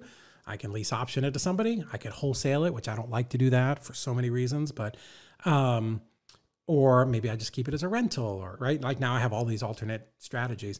And even within all of those, if I decide I want to rent it, well, I could do student housing, I Right. could do, you know, um, some type of niche, you know, alcohol recovery house or you know, I mean, they're just the the options are limitless on how you can actually make money. Yeah, I think when you're getting into seller terms or creative financing, it's the educating the seller part Mm-hmm. that you just mentioned in more of a applicable realistic approach, Mm-hmm. which is slowing it down and educating them on here's the alternative. Can you take payments? Mm-hmm. Do you need all the money now? Dude, that's the simplest thing. And one thing that that people do is they get verbal diarrhea. They just they just want to talk so much and they want to show people how smart they are. Like we had a president who got elected who talked at a third grade level because that's what most of our country mm-hmm. is. Mm-hmm. It's sad, but right, you do not want to ever you know get on the phone with somebody like, "Hey Al, so I got this really cool thing where I can take over your mortgage payment. Don't worry about due on sale, but yeah, I can take that over and we'll close it and we'll and I will do all that." What? What? Yeah, What? Yeah. What? A confused mind says no. One of the greatest quotes my brother ever had. A confused mind says no, right? So that's why we slow it down because even though I clearly understand all of these things, you could probably start talking to me about probate stuff and just you just blow me out of the water. And I'm relatively okay with this, but it's still too much because I don't understand it all day. You know, it's not what I do every day. So when we're talking to people, like if you're, do not ever try to show someone how smart you are, honestly, because then they're going to start asking questions and you're just going to get into this whirlpool of just stuff spiraling down. How can I solve your problem? Yeah. Yeah. Hey, Al, here's the thing. You know, I know you, you know, I asked you about, you know, what you liked about being a landlord, and that was that you like getting the payments, right? The thing that you told me you hated was dealing with tenants, right? Dealing with trash and tenants, tenants, trash and toilets and all those things. Man, wouldn't it be great if there was a way to get the payments and not have to deal with the tenants? Right? Every one of them is going to go, absolutely. Yeah.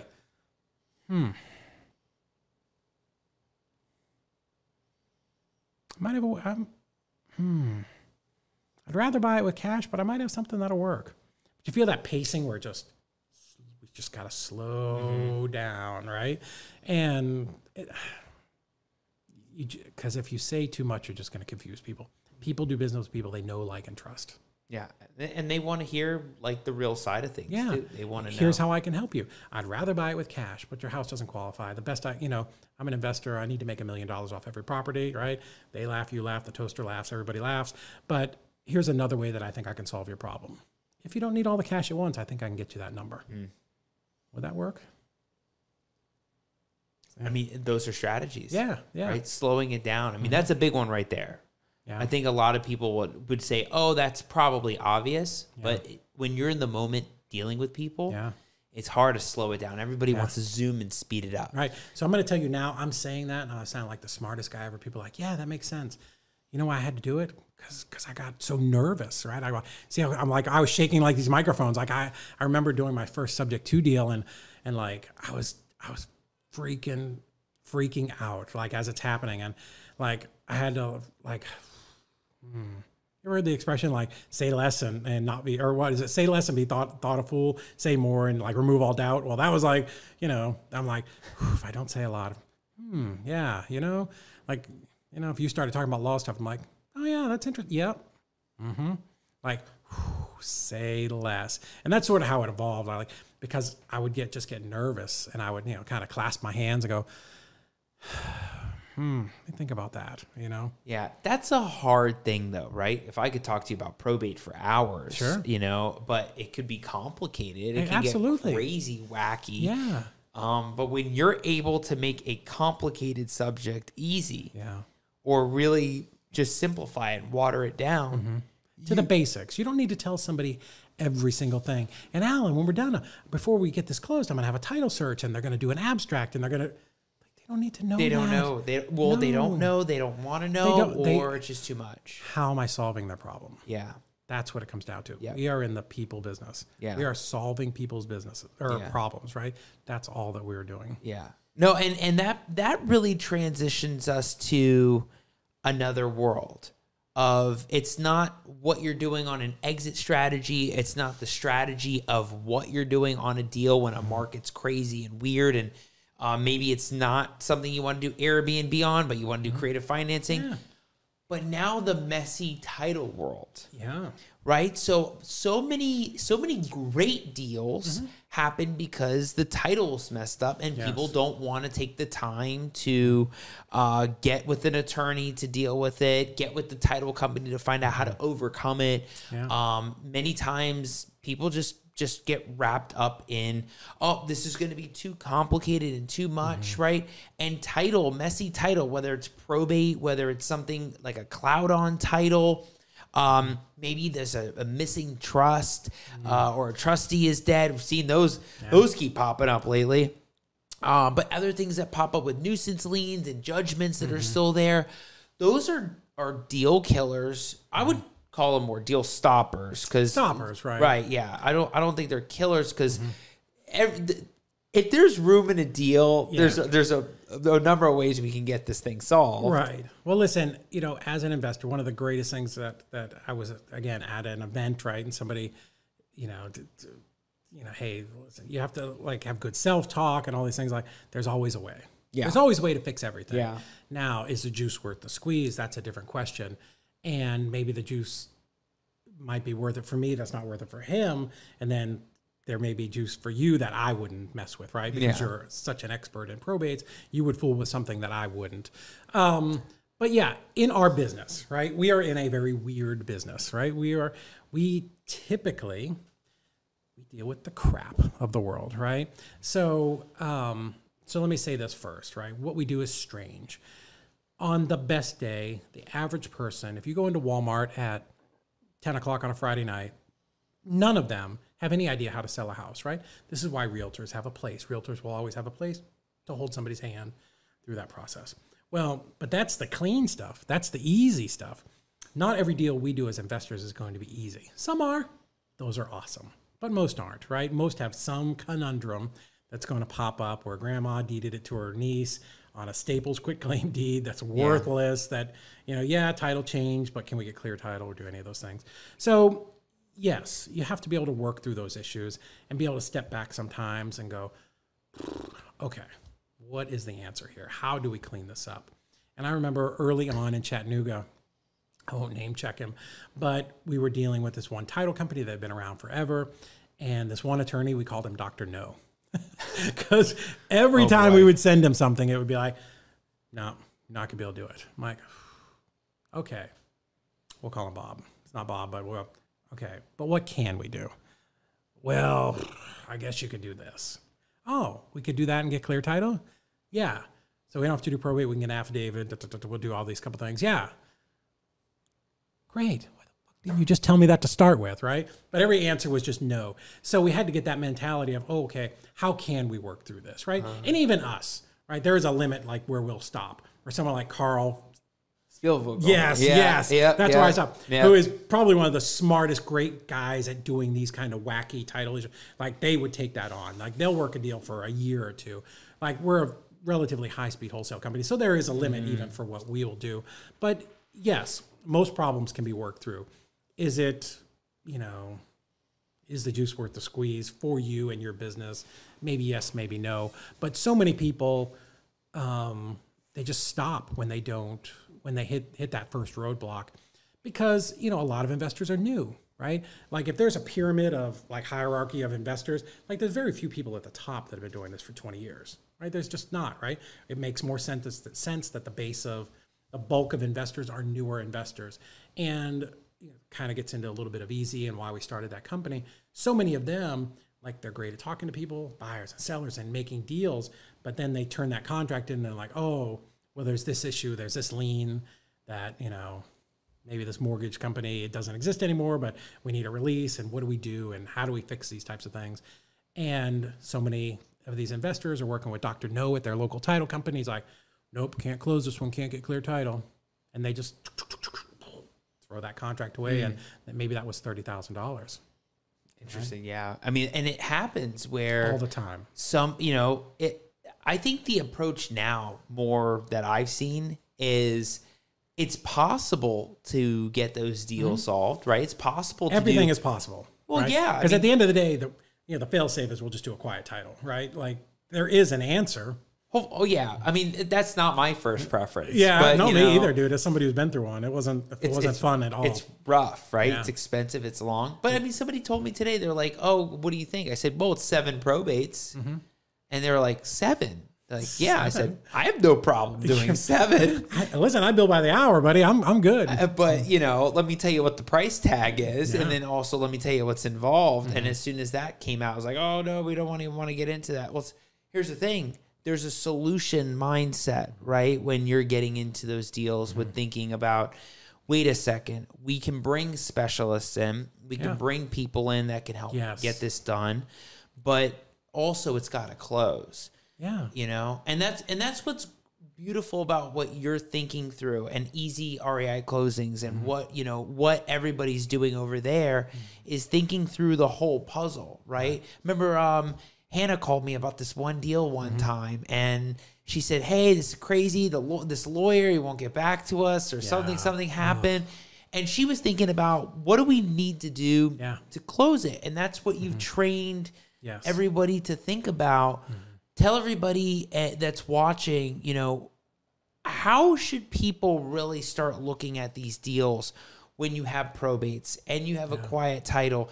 And it's not just about picking it up under contract but also mm-hmm. facilitating with the title company getting with them to help facilitate say these are documents that we need right? Mm-hmm. Or th- this is what we're going to need to to be able to progress the case or pre- progress to closing. Yeah. Thinking about what that is at the end right. So a couple things there, but and I'll come back to that. Don't let me forget that. But when you talk about specialists, because I, I wanted we talked about this a little earlier, and I wanted to, to kind of dive into it. So yes, there's a cost of doing business, right? Mm-hmm. People are like, oh, I don't want to get hard money because it's 15%. And, you know, listen, in your business, if you are a rehabber, that is just a cost of doing business. It's mm-hmm. just like hiring the plumber, the electrician, the flooring guy, right? Because you could not do this deal if you did not have that hard money lender to do to do your business, right? You, you know, like you would do one house at a time instead of five at a time, right? So it's just a cost of doing business. When we were rehabbing a lot, people would come to me and say, "Why don't you get your realtor's license? Because then you can list it yourself." And I'm like, "No, that's not what I'm good at. That's not my business, right? Because let's say I did go spend 18 weeks or whatever it takes to get a realtor's license. Now I'm fielding calls from agents and doing paperwork and nonsense. And what am I not doing? Going and buying my next house, right? So, you know, we understood that from a very early point. Like, let the probate people do do the probate job, right? Let let the best let get the best realtor I can to list my properties, right? Funny story. We uh, had this a couple of partners early on, and we bought this house in Cleveland, Tennessee. I know I'm gonna forget to come back to your original question, so don't forget it. But so, but it ties in. So we uh, we're in Chattanooga, Cleveland, Tennessee is 30 miles north. So we bought this house sub two. We took over the mortgage. So we went up there and looked at it, and it's like the one or three bedroom, one bath, like cute little box house, 900 square foot, relatively new, new siding, new window, like cute, like very new. Didn't need much. So we're like, oh, we're gonna we're gonna buy this sub two, and uh, my buddy's like, yeah, I'll just do a quitclaim deed. We'll quitclaim it into a trust. It'll be fine. No need to go to the title company and pay them six hundred dollars. Like, oh, okay, it's a quitclaim deed, right? How complicated could it be? Right. The new investor says. Four times we resubmitted that that quitclaim deed. Finally, on the fourth time, we we went to our friend at the title company and I said, Patty, would you please clean this up for us? Because we're apparently too stupid to figure out how to do a quitclaim deed for whatever reason, it just kept getting kicked out, kicked out, kicked out. So, you know, kind of goes to your story of hiring specialists, right? Just do what you're good at, right? Mm-hmm. That's Bob, Olga. Do the thing you're good at, really the thing that you love and you specialize in. Do not try to be out there trying to nickel and dime your business and try to save a dollar and do everything yourself Right. right? You're not going to be successful, right? I have, a, I think I have the best dispo training material and courses out there. I've trained a lot of the biggest teams in the country, right? A lot of big teams that, that we know about. But I bring in somebody else to do acquisitions training for my team because I'm good, but I want the best, right? Yeah, absolutely. I don't. I don't do my own transaction coordinating. I couldn't even tell you when the last time I've had to get on the phone with a with a you know a title company unless it was in the, as the owner of Easy and I've got to have a conversation with somebody. Right, right. But like I don't do that on a daily. I have a company that does it for me. Right. Like literally, I'm the owner, but I'm also their first client. Um, you know, I don't list my properties. I would never try to figure out probate. I'm calling my buddy Al. Al, I know you're golfing, man. You know, living the dream down there in Florida, but got a little issue, right? Yeah. So that is a that's I don't know, it's a mentality issue or what it is where Um, because I had this issue too at the beginning where I can do everything myself. I don't want to hire anybody that costs money. I can save money. I, and I get like some of that to a point when you're starting out and you just you have no money, right? Because I started out like broke. Like even when I moved to Chattanooga, like all that money, other money was gone. We started out broke, broke, broke. But you you have to let experts do do their job, right? Yeah. Because you're not going to do it as good as them. You're not going to do it as fast as them. And you know, time time has a value. Absolutely. I mean, if you get with people that don't know what they're doing, I mean, your your deal could be Gosh. uh, in the pile for a year to two years. I mean, have people that that'll tell me that they didn't get with the right attorney on something, and now it's two years in, Yeah. right? Or they didn't get with the right title company, and now it still won't close eight months later, or nobody's gotten their checks all of a sudden, right? You know, Yeah. so Yeah, um, choosing the wrong person is terrible, right? Like I said earlier, there are great realtors, there are bad realtors. Yeah. Wholesaling, the great thing about wholesaling, very low barrier of entry. Anybody can do it. The bad thing about wholesaling, also a very low barrier of entry, and anybody can do Everybody it. can Right? do it, right. So there are good wholesalers, there are bad wholesalers. I'm sure there are great attorneys, and there are some that you're like, oh my God, please don't ever let that person touch any kind of legal paperwork again, right? They're they're just horrible. So yeah, you know, get references and deal with the right people to get your business done. yeah, and, and that messy title world comes up, you know, all, the the time. all the time. Yeah. I can't tell you how many deals I've seen people also pass over Mm-hmm. Sure. because because of that, right? I mean, there's one that came up even today, Mm-hmm. um, where the, the lady she just never got anybody the stuff like the the documents Yeah. and great spread, Yeah. fantastic spread, at least two right? But because there's so many little complicated issues in it, Mm-hmm. Yeah. probate's going to be really expensive to do. But people aren't thinking through that solution mindset of wait a 2nd that's peanuts compared to the whole pie Right. right there's so much more to it than mm-hmm. than just the probate you know and and all of that stuff there's there's a bigger deal at play and who knows they could rezone it there's so many options Oh with it my god! Again, exit strategies are unlimited. Right. So sometimes it's mindset. Sometimes it's just that they're new, and they Yeah. just they don't they they they're not able to think through that first hurdle of how do I get past this right? How do I figure out? Okay, what can we do? Right? They just don't ask that question. Yeah. Okay, what can, like, and I'll tell you, every entrepreneur, you in your business, maybe you had this. I can tell you in mine.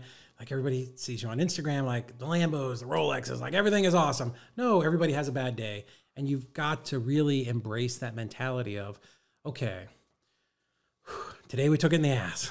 today was not a great day, right? Whatever happened, like everybody has bad days.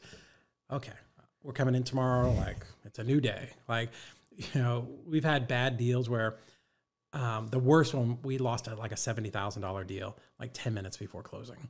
This what this deal was going to be amazing, and we didn't close it at the title company where we wanted to. We let the buyer pick the title company. The buyer runs into the seller in the parking lot, and all of a sudden now there's a bunch of objections, and we're not going to close. And we knew exactly what it was. We should have been there. We didn't weren't there, and we had like a seventy thousand dollar deal just fall apart ten minutes before closing. That's a bad day. I'm going to tell you that's a bad afternoon everybody in our company was like a lot of long faces that day, especially the poor acquisitions guy who was going to make a Oh lot my of gosh, money, a of lot of money. It was literally this guy worked for Pepsi in our town, and uh, his name was Mike, and he was literally going to use this check to quit Pepsi and come to work full time as a real estate, you know, acquisitions manager for us.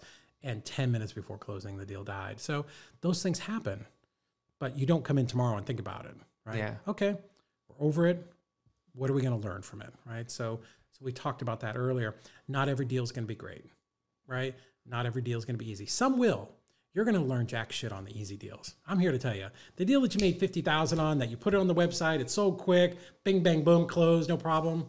Like it's awesome. Ring the bell hit the gong Yeah. do all the things celebrate it. Like get some champagne. It's awesome. It's a win. I'm not saying don't celebrate it but you did, probably didn't learn anything from it the deals you learn from are the ones that go sideways or that go bad yeah. right? Okay. Like we do that in our company. We will sit down and say okay what happened with this contract? Right. did where was this a marketing issue? Was it an operational issue? Was it an acquisitions issue? Was it a dispo issue? Like why did this deal not happen? Right? And it could it could have been on any of those things right? Maybe it's a deal in a town of 500 people right? So acquisitions like hey i got it at the right number um, dispo like hey i called all the people there was just nobody to sell it to but then that was a marketing issue right so lots of places where I don't want to say the blame can be, but where we can look to your company or to my company, how we do it in our company is, you know, where where did this where did the flaw happen? Where did the you know where did things break? yeah and finding out where that is and Yeah. overcoming that And then we learn time. from it, and then we don't do it again. Now, Right. if we do it again, now we have a problem.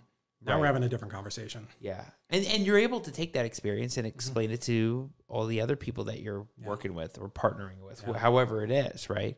Um, two things that we have to definitely cover while while we're still in that messy Yeah, yeah. title world. Uh, memorandums and quiet title. Oh, So I love it so when there's like nine stories. It's not going to be quick. no, it's it's it, quiet title's never quick, right? No, no. Um, I love it when I'm at a conference with David and I'm standing there talking about probate, and all of a sudden David goes, "Ooh, ooh, I got a question for you. I got a great one." That's how. That's yeah. exactly how he does it. Yeah. Um, what is quiet title? Yeah. And he just passes me the mic, and I'm Oh. thinking, David, like you know, this is the long. You're gonna get the lawyer explanation. You're gonna yeah. get the newspaper explanation. With me, it's like such a caveman explanation, right? And it's like it's one of those topics that like you really have to know what it is. You have to know um, um, the the the amount of time it's going to take, Yeah. what goes into it. A lot of a lot of times, I'll get calls from investors that'll say, "Hey Al, um, uh, we got a situation, and it's going to need quiet title." Um, and I have my whole spiel that's been refined over um, experiences. Yeah. Um, but You say, but does it? And why do you think that? Right? yeah, or, or is there a way that we don't have to do that? Yes. Like, is there other Oh, solutions? That's, that's not a needle to the eye. What are some things that you can explain to the wholesalers, to the investors, to even agents that may come across that kind of stuff? Because I know there was a story that you were, you know, going to talk about too So with the rehab. there is a story. Yeah. Right. So there's a reason why I know a lot about quiet title. Would you like to hear it? oh, we gotta hear about it. I mean, I've got to hear I don't want to hear the lawyer response. No, you know? no. So so here's the story. While we set the mood, make it all nice. Yeah. So, um, so we're in Chattanooga, um, and let me just say this: so we're wholesaling, right? We're we're wholesaling like crazy. Um, we really found our niche. We're buying properties. We're figuring out owner financing, and the market's changing a little bit. So we're like, let's do a couple rehabs. Let's let's do some stuff. So we did our first rehab. It was just a disaster. Different story. So this other property comes up, and um, kind of a goofy seller. Like he had some some issues, like he couldn't leave the house and couldn't be within two thousand yards of a school. Kind of, you know, had some issues, right? And this was, anyways, this was where he lived. So um, we wanted to buy the house, and it was like thirty five thousand or something. And um, I said, okay, let's just close on it. We've got the money from a private lender. We'll close on it, and then we'll just figure it out. We'll resell it or we'll rehab it. We'll do something with it, right? um, we'll rehab it, right? Because we just did this other rehab. So we close on it. And like two days after we close, I get a call from this realtor because the seller had been trying to sell it with a realtor. And, you know, he got a postcard from us and that's how he called us. But, anyways, so realtor calls and she's like, hey, my two investors, they wanted to buy this house. They they put in an offer at 58000 but I guess you bought it first. Um, do you want to sell it? I'm like, well, absolutely. 35, 50, two days, right? Like it's good. She's like, okay, um, you know, let me send you a contract. We'll we'll get title work started. I'm like, okay, perfect. So like a week, week and a half later, two weeks later, whatever it was, she calls and like, oh, like we can't close on this. Like, what do you mean? Oh, somebody filed a notice or a memo on the property, and oh no no no, no, your mistake. I have clear title. We're good. Mm-hmm. She's like, well, maybe you want to call this title company that we're using. So I call them and they're like, sure enough, there was this memo that was recorded. I'm like, can you send it to me? Can like, this was my first time through this, mm-hmm. right? I'm like, send me what we've got here.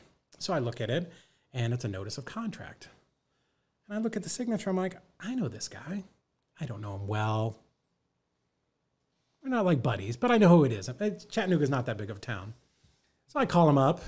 Let's call this guy Bob as well to not name check him. Like, hey Bob, hey, this house over 129 uh, North Moore, which is the address of the house if anybody wants to look it up. Uh, 129 North Moore Street in Chattanooga, Tennessee, little yellow house. I'm like, hey man, um, hey, so I bought this house over on Moore and I'm getting ready to resell it, but it looks like you've got a cloud on the title or a notice, a memo. Like, hey man, can you just come down and, and sign a release for that so I can get this thing sold? And he's like, no. I'm like, Like right away, just like Oh yeah, just, yeah, like, straight yeah. up. Oh yeah, straight no. I'm like, well, yeah, I need to sell it, and you know, we closed on it, so I need you to sell it or to, to sign this thing. No, what are you selling it for? I'm like, doesn't matter what I'm selling it for. And uh, like even when I was new, I wasn't an idiot, right? So I'm like, no. He says, well, um, yeah, if you'll split your deal with me, I'll, I'll release it. I'm like, absolutely not. I'm like, Bob, because I want to say his name so bad. I'm like, Bob, we're not doing that. I don't know if you think I'm fucking new. Like, we're not doing this, right? Like, I've probably wholesaled a couple hundred houses at this point. I'm like, no, we're not doing that. You need to sign this release. Nope, I'm not doing it. Not unless you'll split the deal with me. I'm like, I'm not splitting jack and or shit with you. I'm just telling you right now. Um, he's like, well, I'm not releasing it. Click. Call my attorney. I'm like, Craig, I need you to do something here. He's like, all right, send me what you got, you know, because I'm like all fired up, you know, an attorney. Send me what you got, man. It'll be fine, right? So he calls him up and he's like, yeah, the guy's not going to release it. I'm like, fine. Offer him two grand or something just to, to release it. Calls him back. He's like, nope, he's not releasing it.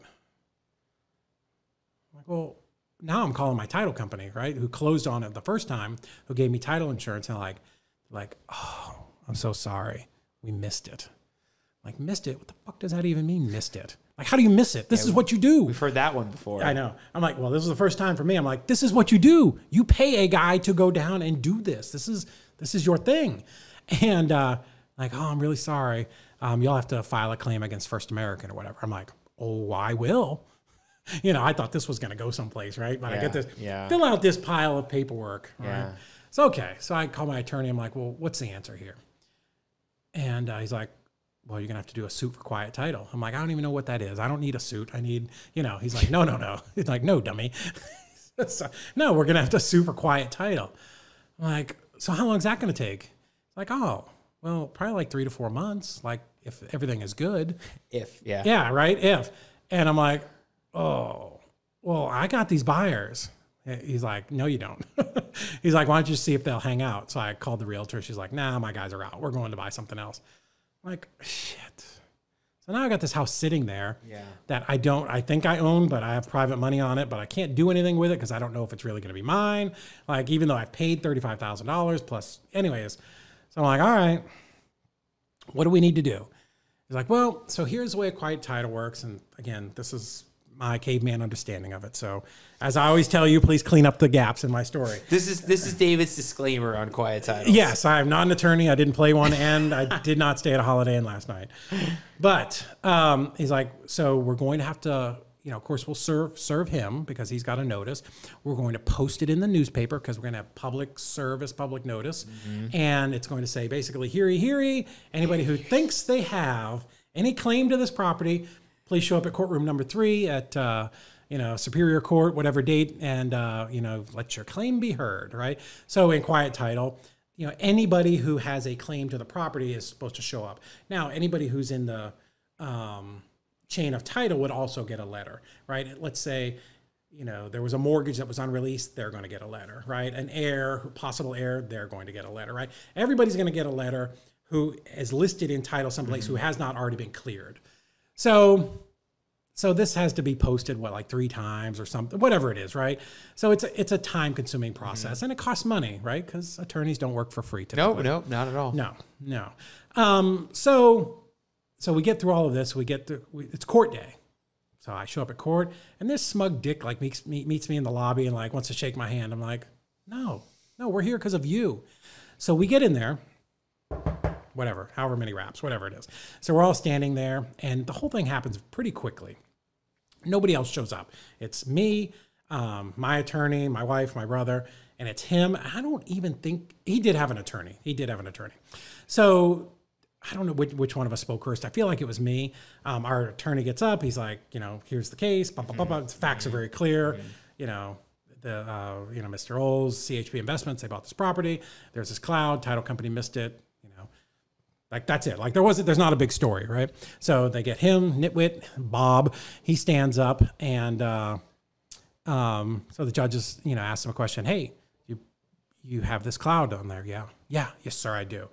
Where'd you learn how to do that? Well, you know, we talked about the person earlier whose course he got it out of. So, anyways, a, a reputable guy, right? Nationwide guy, old time guy. Yeah, I, I'm, you know, I'm certified, you know, street certified or whatever, right? So uh, the judge is like, yeah. He's like, yeah, and I have equitable interest. And like at that moment, I felt the shift in the room. The judge is like, what? Yeah, I have an equitable interest because I signed the contract. Judge like essentially said you don't have shit, right? So that's one of those things that real estate investors have been running around the world for 20 years saying, if you have a contract, you have equ- equitable interest. The judge is like, you had a contract, why didn't you close? Mm-hmm. Well, you know, blah, blah, blah, blah, some story. He's like, Mr. Oh, I got, got close there. Mr. Bob, I want you to show me where you had the funds and you were able to close and, you know, where your title work was done. I want you to show me that you were ready to close and that you have a valid claim on this property. Well, um, you know, I, I used private lenders and I was going to get somebody and I, just, just like, why didn't you close? But, but, but, you know, and it's a lot of something. Done. Done. Done. That was it. Oh, and he had to pay. He had to pay for everything. Oh, nice. What was what was It's that? like five grand. Okay, Yeah. take it. But problem for me is I lost my buyers. Now, now I have to go rehab this property, Right. which there's like, There's- of course, like with every story, there's five other stories that go off of that one. But uh, yeah, I mean, it cost me a couple of months of the property just sitting there. It cost me money. Like nothing I could have done to avoid it, right? Like we talk about going back and looking at your mistakes. It was just a thing, right? It just happened.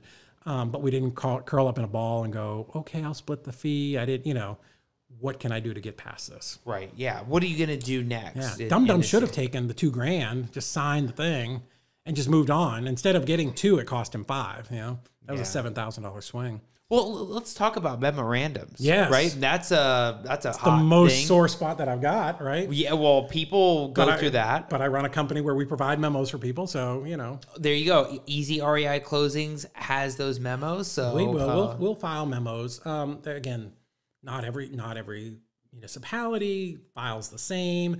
Not everybody you can e-file. Some people you have to file in person. Some people Yeah. you need a notice of contract. Some people want a memorandum. Some Yeah. they, there are a lot of different. There's a that's just a cat's nest of yeah. issues in there. Um, but we call them memos or notice of contracts. It's kind of like Kleenex, right? It's just Yeah. a generic term. Yeah, I, I refer to them as memos, Yeah. right? You know, it's like for death certificate DC. You know? Yeah. But if I told that to you, you'd be like, "What is that?" Yeah, right? But like memorandum, lawyer term that I got, I, you know, It's just because I'm so smart. just an abbreviation, right?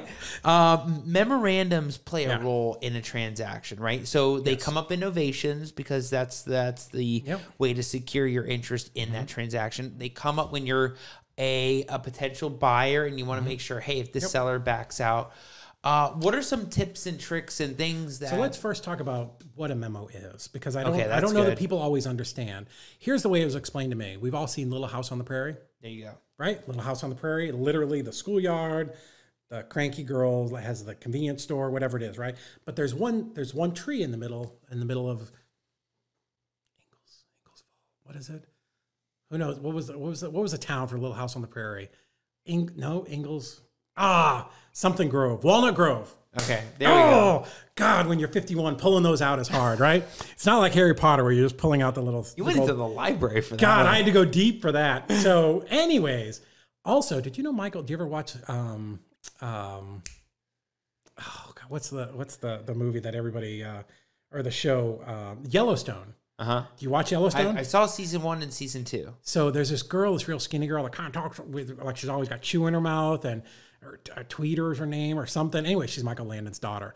Boy, how do you, that's like connecting like the six This is a six people that know. Will Will Smith, right, or something. But anyways, so Little House on the Prairie, the little tree. Um, there was no public record in the early days, right? In the Wild Wild West, people literally would take a notice and go tack it to whatever the board was, mm-hmm. and this was public notice, right? So deeds. Joe owes me money. This guy owes the convenience store money, whatever, right? The, the trading post, you know, Bob bought, you know, Joe's cattle, whatever it was. People would go literally tack a notice someplace. And this was the early public notices, right? So say all of that to get us to here. So all a memo is, or a memorandum, or affidavit, or all of these things is it's public notice, right? That says, I have some interest in 123 Main Street. That's it. That's all a notice is. It's not magic. It doesn't force people to do anything. It simply sits out there as notice that you or me or whoever filed it has some interest in the property. Doesn't say, necessarily say what your interest is. Doesn't have to. It probably should. but mm-hmm. but the way real estate investors, it's just a thing. This is why we call it a cloud because it sort of hangs over the property, right? Mm-hmm. So what's supposed to happen is your title company is supposed to do a title search and it pops up and then you go oh er, it's like a stop sign. We can't clear this title. We can't give you know your client or your end buyer you know clear uh, you know clear oh boy it's late so my mind's starting to go clear and equitable or what what's the term? The title it can't get clear title right? Because this has to be cleared up first. So that's all a memo is, is it just sits out there on public record. Hopefully the title company catches it and it says, hey, we need to resolve this, whatever this is, Yeah. before we can proceed to closing. Yeah, and it, a lot of people have heard of it. Mm-hmm. You know, uh, I don't think some have actually seen it in play. A lot of the seasoned investors, I know the ones in Jacksonville, Mm-hmm. um, immediately they lock the property up under contract, and they're already recording the memo Yeah. right away because you know how some sellers can be. Sure, Um, there's I'm gonna go to David. I'm gonna go to uh, Ricardo. I'm gonna go to this one, and, you know, yeah, and yeah. uh, this one's got a better offer. Well, There- wait a second, you're under contract. Yeah. Well, and there, I think there are a lot of things that cause that to happen. Um, I would say most of the time that's the investor's fault. Again, like that's a side tr- trail that we can go down and certainly talk about. Um, but a lot of people see it online or they hear the idea of a memo and they get very arrogant and cocky, especially the last couple of years. Like, "Ah, I'm going to put a memo on that. I'm going to cloud that that title. I'm going to do all these things, and they don't understand necessarily what it does or you know that it's not going to. It's not the end all be all. I can cloud a title all day long and you can buy it from the seller. You can work right around that that cloud. it's not a big deal, right? You can buy it for cash and say, need a title search. I don't want to title, or I'll I'll take the title search, but I don't need a policy. Yeah. I don't care, right? I'm gonna, you know, I'm gonna, I'm just gonna close on it. I'm gonna close around it, or I'm gonna close it as an exception on my policy and go get, go pound sand. Yeah. All right, I'm not gonna honor that. Now, down the road, is it going to be an issue that you might have to clear it? If you want to sell it to somebody who has to have clear title, in the case of a novation, why they work so good is because the person who's buying it is getting a bank loan. A bank, Bank of America, Chase, Citibank, is not funding on a property that does not have perfectly clear title because that property is the collateral against the loan, right? So they don't want Penelope, the third third cousin twice removed, to be able to come back later and go, "Hey, this is really my property. I'm snatching it." Because what would happen is it would wipe out their first position lien. Hmm. Yeah. Am I doing okay so far? Well, I think just the the concept of it. I mean, and you how you- how you were talking about, hey, if we go down this little rabbit hole Yes. with how whose fault is it Mhm. with memorandums? You were mentioning that.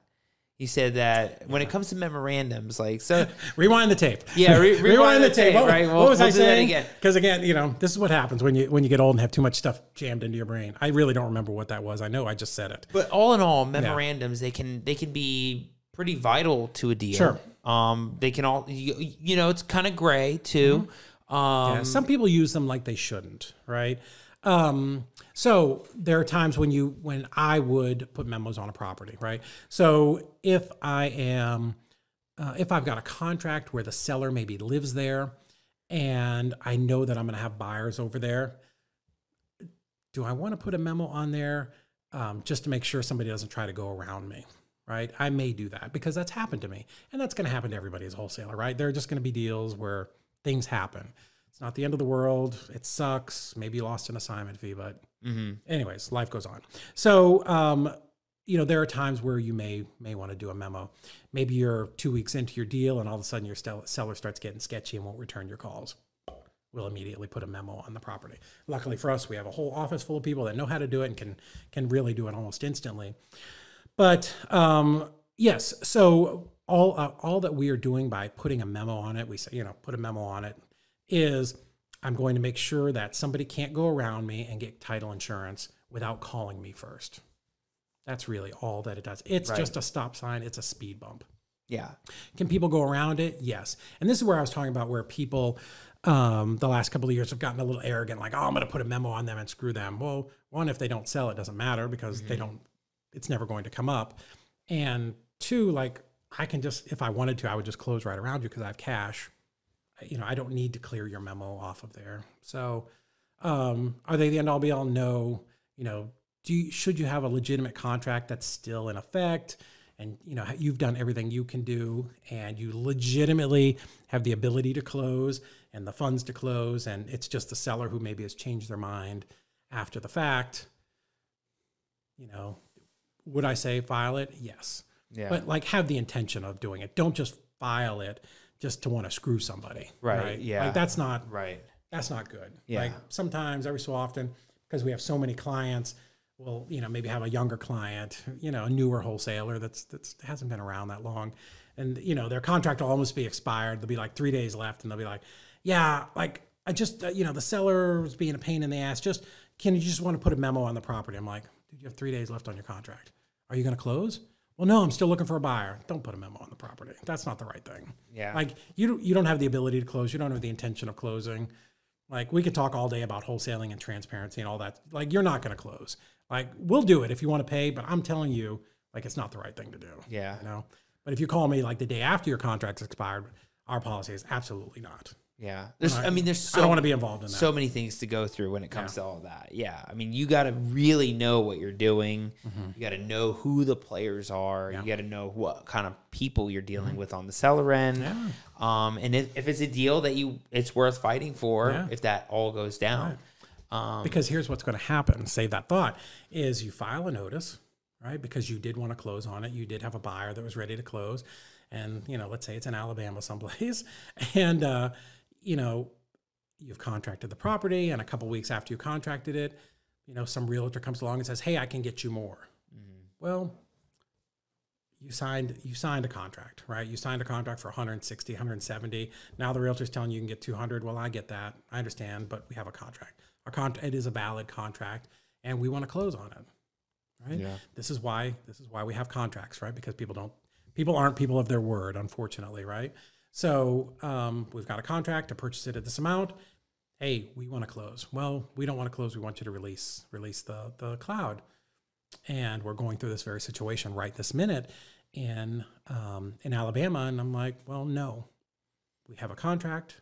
We agreed to purchase it. You wanted us to purchase it. You called us. You had an issue. We solved your issue. We're going to close. We want to close. We have a buyer. We'll close it ourselves. Well, no, um, we're gonna we're, we're gonna you know we just changed our mind. But the truth is, we can see on Zillow that it went pending and that it's you know Yeah. so we know we know what the story is, and you know, then you have to decide: do you want to stick to your guns or not? Yeah. So you know, after a bunch of calls, hey, will you release this? No, I'm sorry, we can't. We're ready. What day would you like to close? We're ready to close any day that you want. Title work is literally done. We can show you. We've got proof of title. We have all of the things that we didn't have in those other other times. Well, we're just we're we've just changed our mind. I'm like, well, you can't change your mind. We've we have a contract. Yeah. We do. And I usually will explain to people if I was to back out of our contract at the last minute to you, would you be upset? Well, and they'll try to say no, but I'm well, you would. The truth is you would, right? would. Because we agreed to do something, right?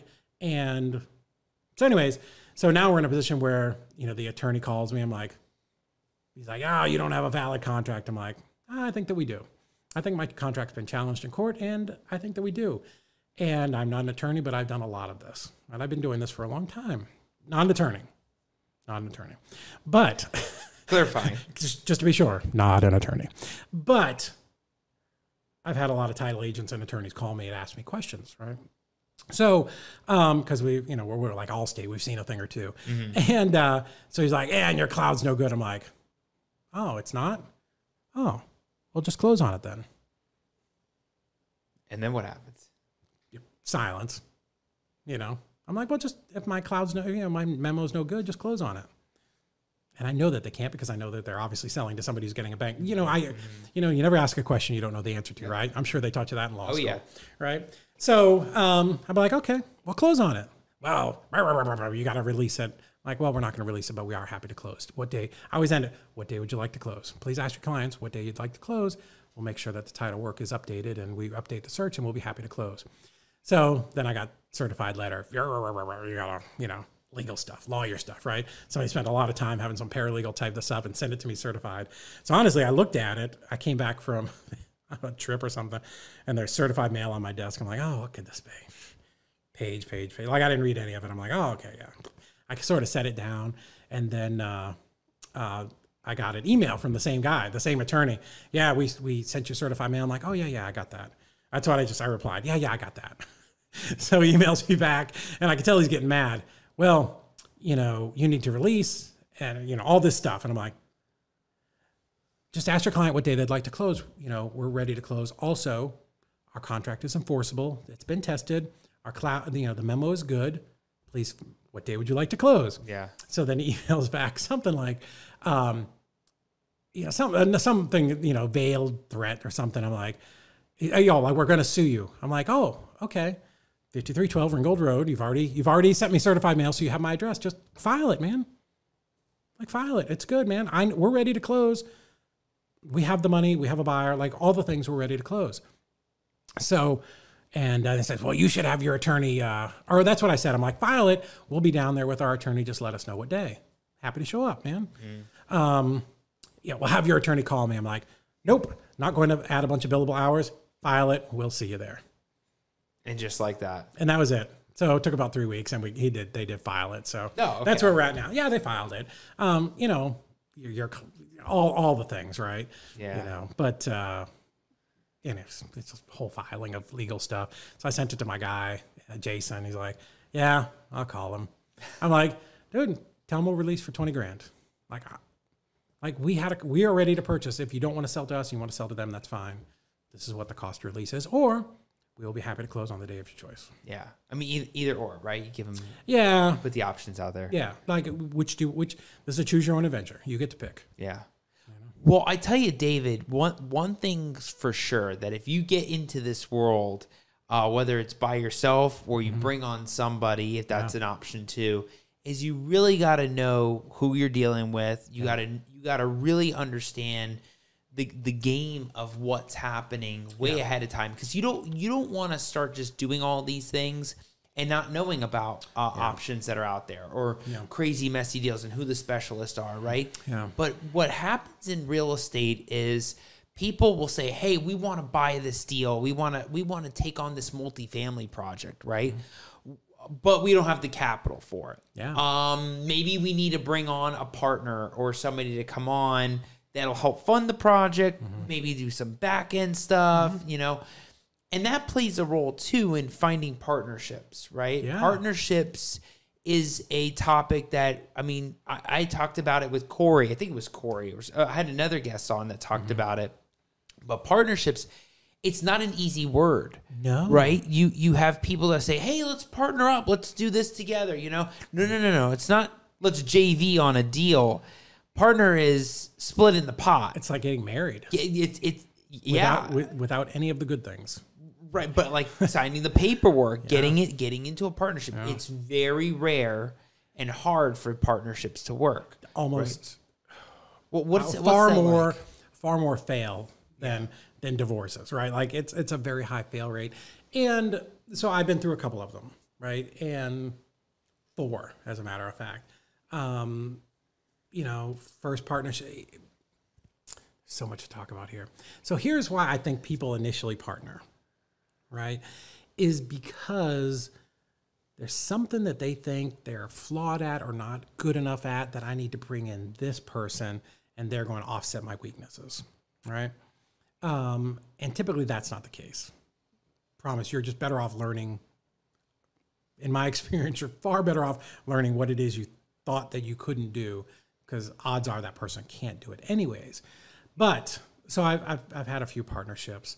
Um, so one, when we moved to Chattanooga, um, we partnered with this this other guy who now we're great, we're still great friends. But when we partnered with him, his name is Randy Shelley. He's a big private money lender, hundreds and hundreds of apartment complexes. I probably should have gone gone the route he went.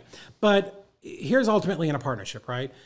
You're you're two people, and you're you're going to go down the road, and you have to have you have to be aligned in what you want, right?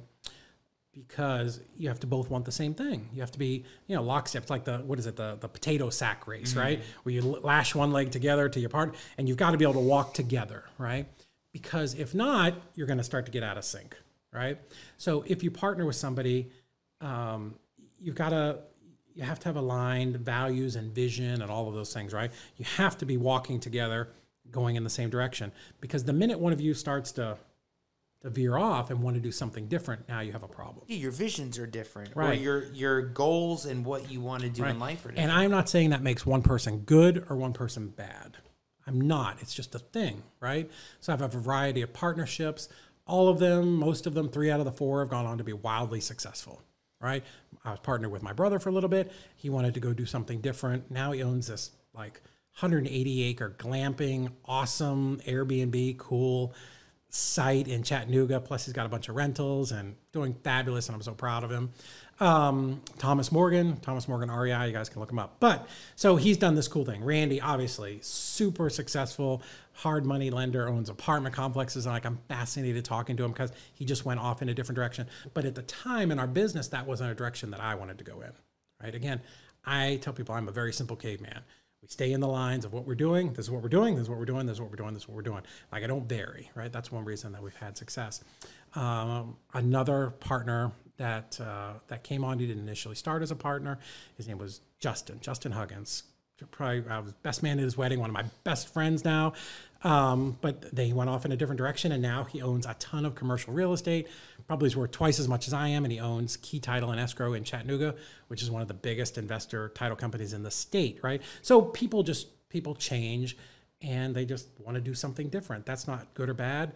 We want to stay on track, and you know. Anyways, so yeah, you partner with people, and they don't always have the same long-term vision as you, right? And that gets very difficult once you're in it to get out of it Right. especially if you had joint properties, right? You have ownership in the properties in your company or LLC or corporation or whatever it is. Or financial interest. Yeah, yeah. Now you've got to figure out a way to sort that out.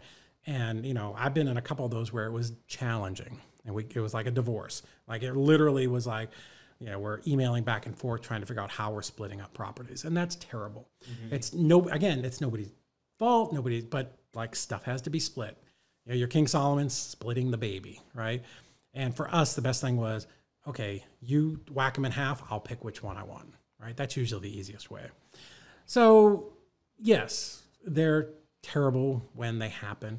And for me, after my fourth one last year, I finally realized, you know, this person that I thought was going to be able to come into my business and bring all of these things didn't for whatever reason, right? It's okay. Um, you know, I can do those things on my own. Like I can learn how to do payroll. I can learn how to go out and get a loan. I can learn how to do do the things that I thought I wasn't good enough, smart enough, or gosh darn it, people like me, right? Um, whatever it is. So, so yeah, I'm not a huge fan of partnerships. I think, you know, one-off deals or something like that is fine, but you know, be careful partnering up with people. And I see this so often, right? We've the term, you know, there's some guys that that coined the term squad up, right? And we see it, you know, mm. all over. And I see it so often with one newbie wanting to squad up with another newbie, and neither one of mm. them know anything about anything. But they want to do it They together. want to do it together, but do they it. do they really need to do it together? Yeah. Like, you know, you have one person who doesn't know what the other, you know, neither one know anything, but they're out there trying to do something. Right. And is that effective? Right. I would say if you're going to squat, like go find somebody that knows what's going on and Yeah. work with that person. Yeah, it's very difficult to find people to partner with. It's it's challenging. You have to find you have to find people that will focus on the things that you don't want to do. Mm-hmm. One, two that have strengths in your weakness. Right. Uh, three that want to really find that same vision Mm-hmm. together. I mean, like you said, it can go like this for so long, and all of a sudden it just does Yeah. this, or both do that. Yeah, like it- I, I was talking to somebody the other day, like, um, or yes, this morning, the, the person I was talking to, um, him and his partner, they actually owned a wholesaling business and a coaching business. And luckily for them, they had two entities. They could just split it right in half. One took one, one took the other, and that worked out okay. But sometimes you have just this collage of stuff, and maybe you had it for four, five, six, seven years, and now you've got to split it up. Mm-hmm.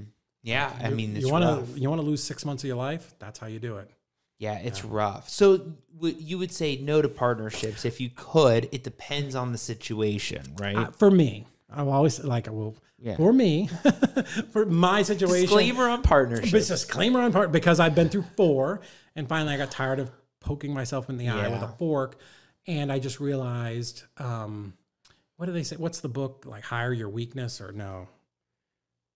Uh, who not how? Right? You can hire Mm-hmm. somebody who is amazing, and you know, I've got some people in my companies who are almost like partners. They're as, as close to being a partner without being named partner, as they can be, right?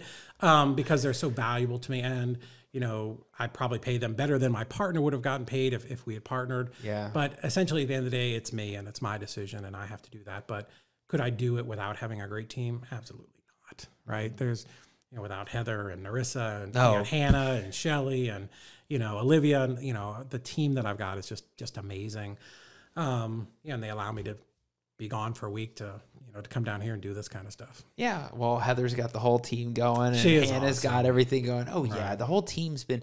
We'll, we'll talk about that Yeah. whole side of it, right? Easy REI closings and the team that you've put together and built, because that's a whole thing too. It's, it's a thing, right? huge. Yeah. Um, so we'll get into that. Uh, one thing I will say, and, and this will tie into it, which is your growth and, and scaling your business, Mm-hmm. right? So let's let's talk about easy REI closings Okay. and and the growth and trajectory of where you've gone, right? You've Yeah. you, you social media has played a role also in where things Weirdest- have it's headed. the weirdest thing. It's social media is the weirdest thing. Pe- people are paying attention though. People are watching, right?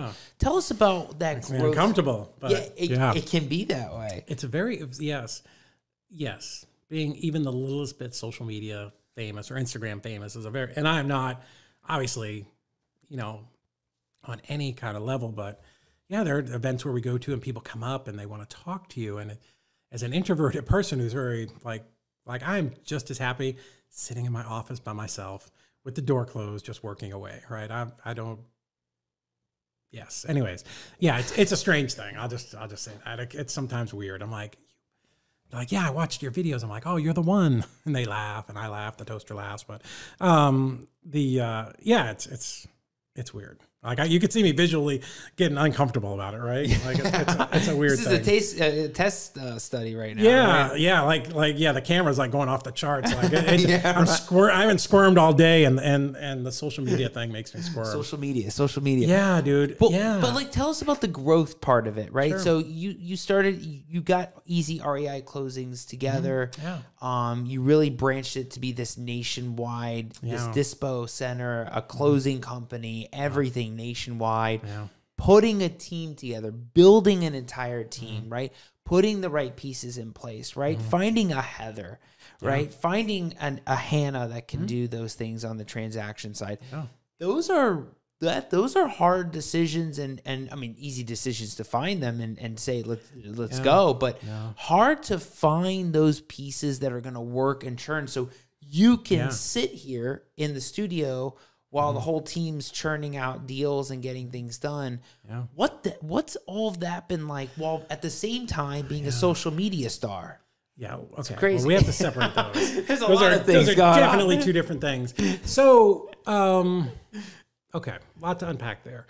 Um, so here's what I want to tell people is, you know, sometimes you'll, well, maybe we won't separate them.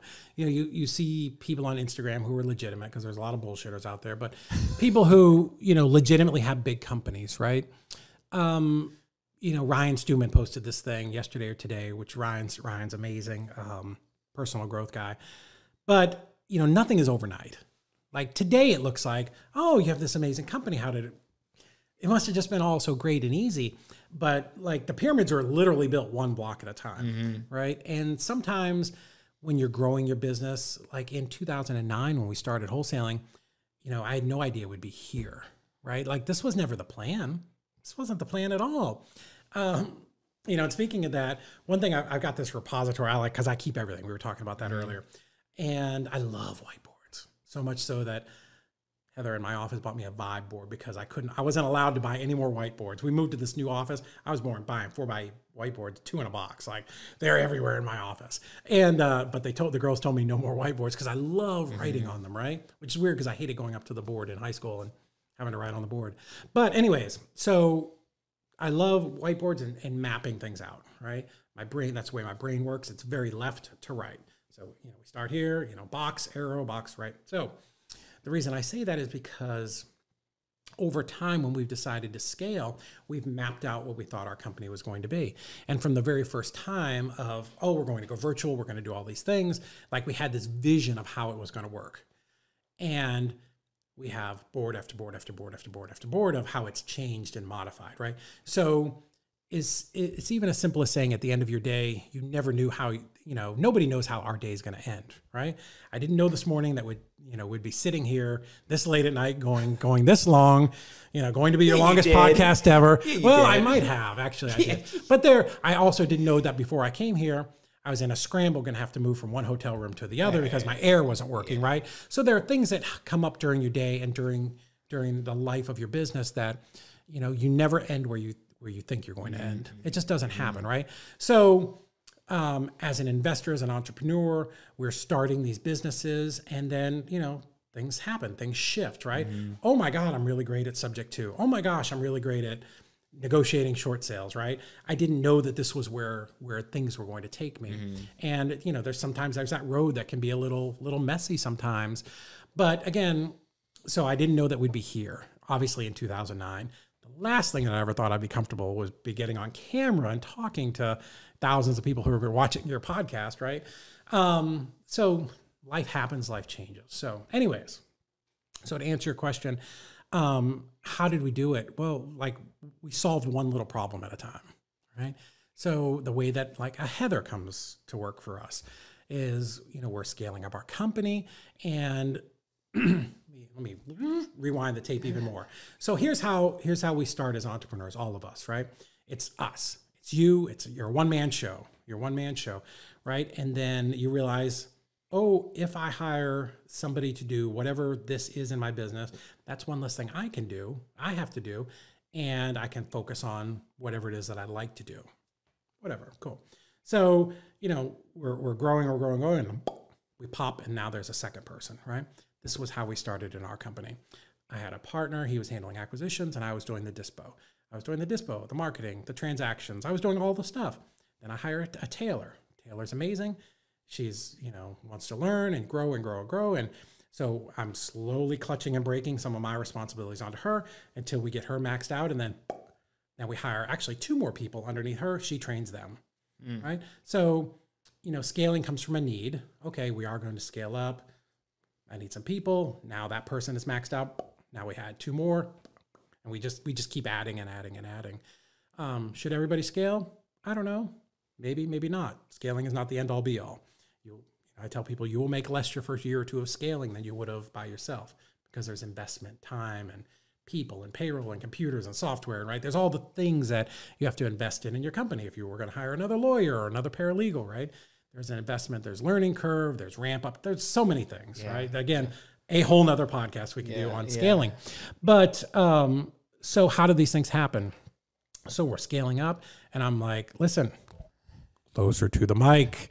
So, okay. So I was told before we started this podcast to talk, project into the mic. We want right? to make sure everybody can hear That's everything right. David's saying. That's right. So if you're in your car, oh, was it, have you ever seen Private Parts with Howard Stern? no, all right. Too much for some of you people. Yeah, right? Ah, oh, I love Stern. So, anyways, so um, so our company, we're so off track. Um, that's probably like ADD, right? It probably should have been diagnosed for something, yeah. right? But anyway, so we're, we're growing our company. I don't have time to do all the transactions. Um, dealing with title company, so we're interviewing. We had a TC. She got sick. We are hiring for somebody else. So um, I love to tell the, the story to Heather. So she comes in, and literally, I'm like, this woman looks like an assassin. She's like not smiling, not like nothing, right? Like, and, and and I've told her this before. We were talking about it a couple weeks ago, and she's like, "Oh, the other two people I was interviewing with, this one girl never shut up." She's like, "I was so aggravated." I'm like, "I don't know if I should hire this woman or be afraid." Like, I don't know.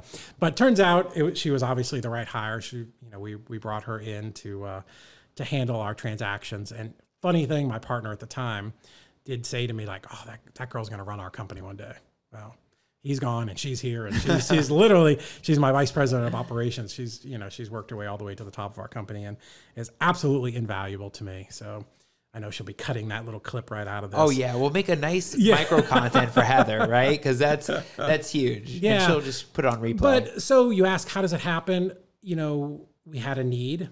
We went out and hired somebody. The first person we hired wasn't the right person. The second person we we hired was turned out to be perfect. I didn't know for sure that she was going to be great. We took a chance on her. Um, luckily, she's someone that shared our vision mm-hmm. and where we wanted to take the company.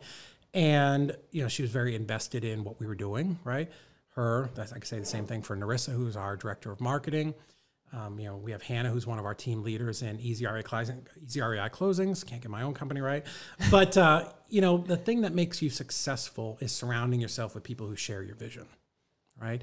But how does it happen? One person at a time. There's no, you know, I think if you set out to, I'm going to build Amazon, right? Like where would you even start, mm-hmm. right? I don't know that that's the best way to approach building building anything. So for us, it started with Heather, right? Easy REI closings literally goes back to that day wow. where we sat at 3335 Ringgold Road in Suite 101 and we interviewed her. And um, I, again, I was, she looked a little bit mean and uh, kind of scary, and she made me a little nervous. But it, you know, it was just that she was so aggravated with this girl that we were doing joint interviews with. But we brought her in, and she did a great job, and she was very good and very fast and could solve problems and wanted to do more.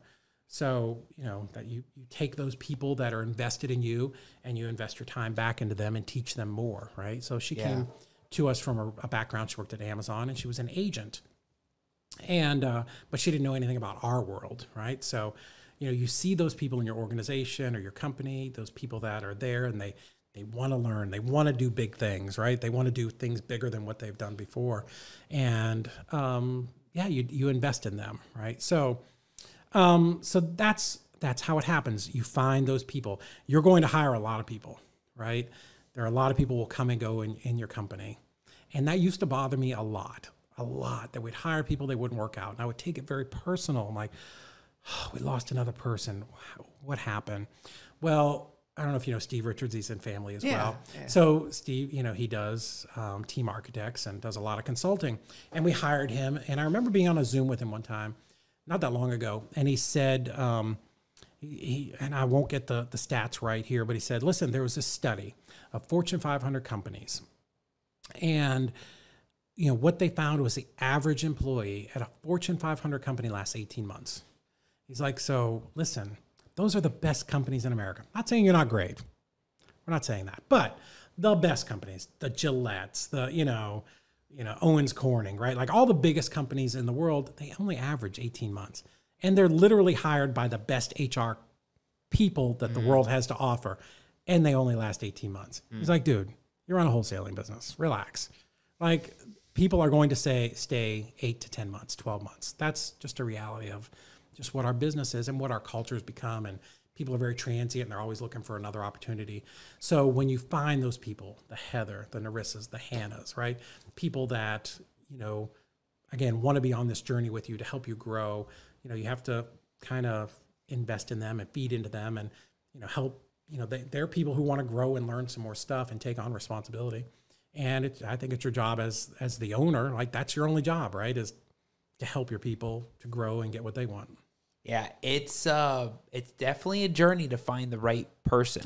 Oh, it is. And it's hard too because if you let, let for example, like you find one person, you're like, okay, this person's probably a good fit, and you work with them for six and then months. sometimes to they a quit. Like, or no, or Yeah. it's not that they quit, or they um they're not leveling up to the next Yeah. Mm-hmm. level on the tasks, right? Or you thought they were this, and then it's just not happening on on the rest, right? So, so so lucky that you found Heather early on because look, look what she's like at trade shows. She's immediately like on the spot with explaining things, Mm-hmm. yeah.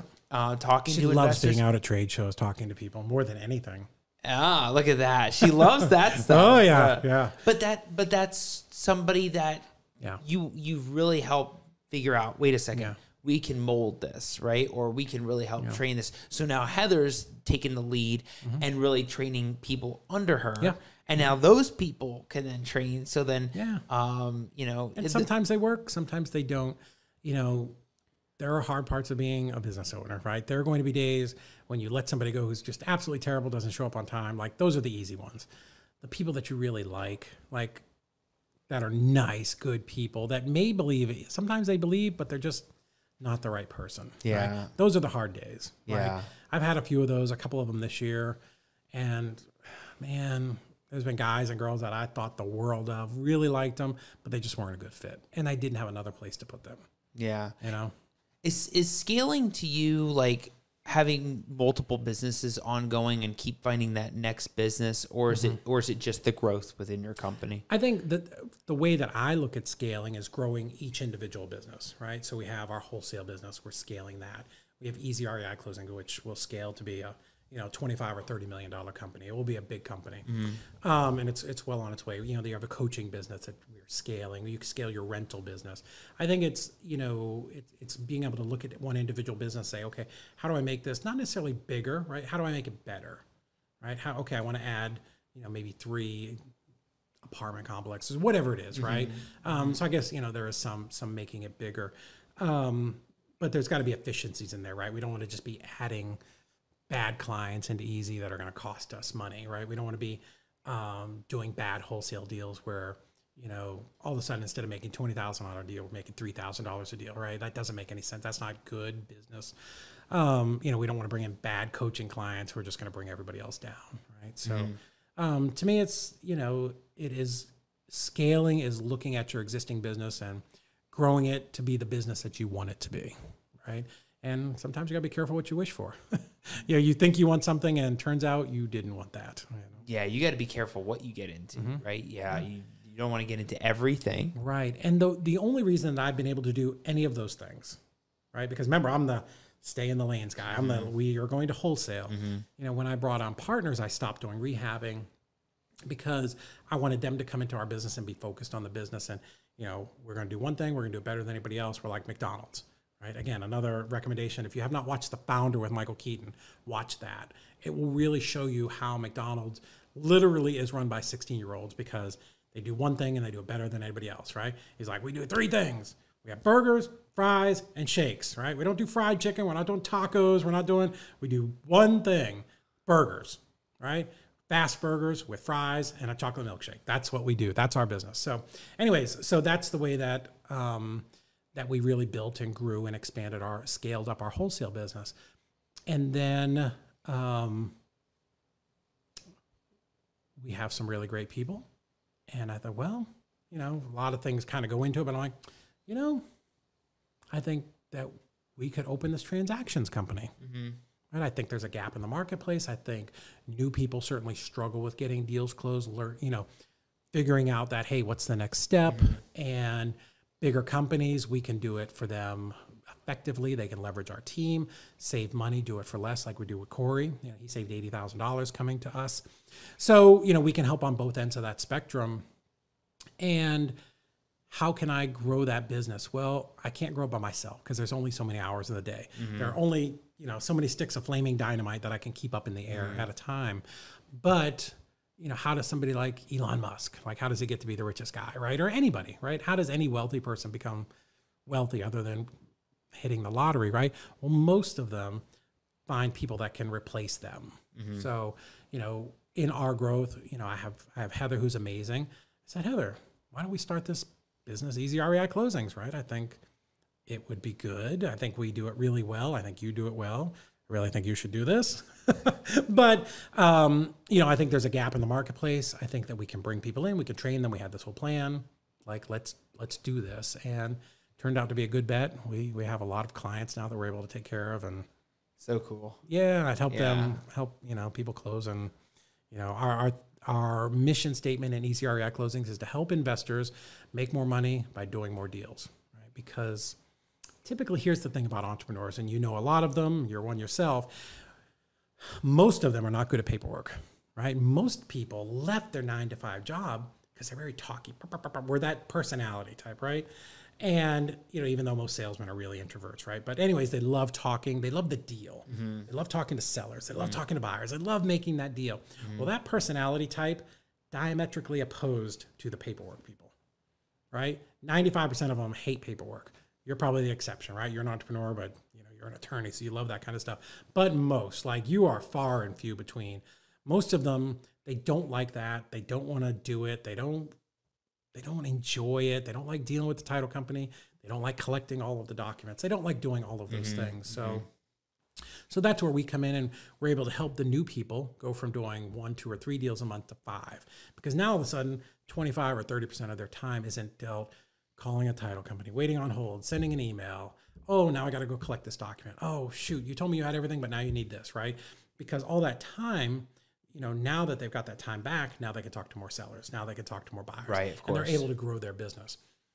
Big companies like like Corey and some other large companies that we we handle that do five, six, seven hundred thousand dollars a month. For those people, now they're able to take that person who was doing transactions and take that money and put it back into their company, into marketing or into other payroll, or shift that person into a place where they should have been, and they can outsource that to us.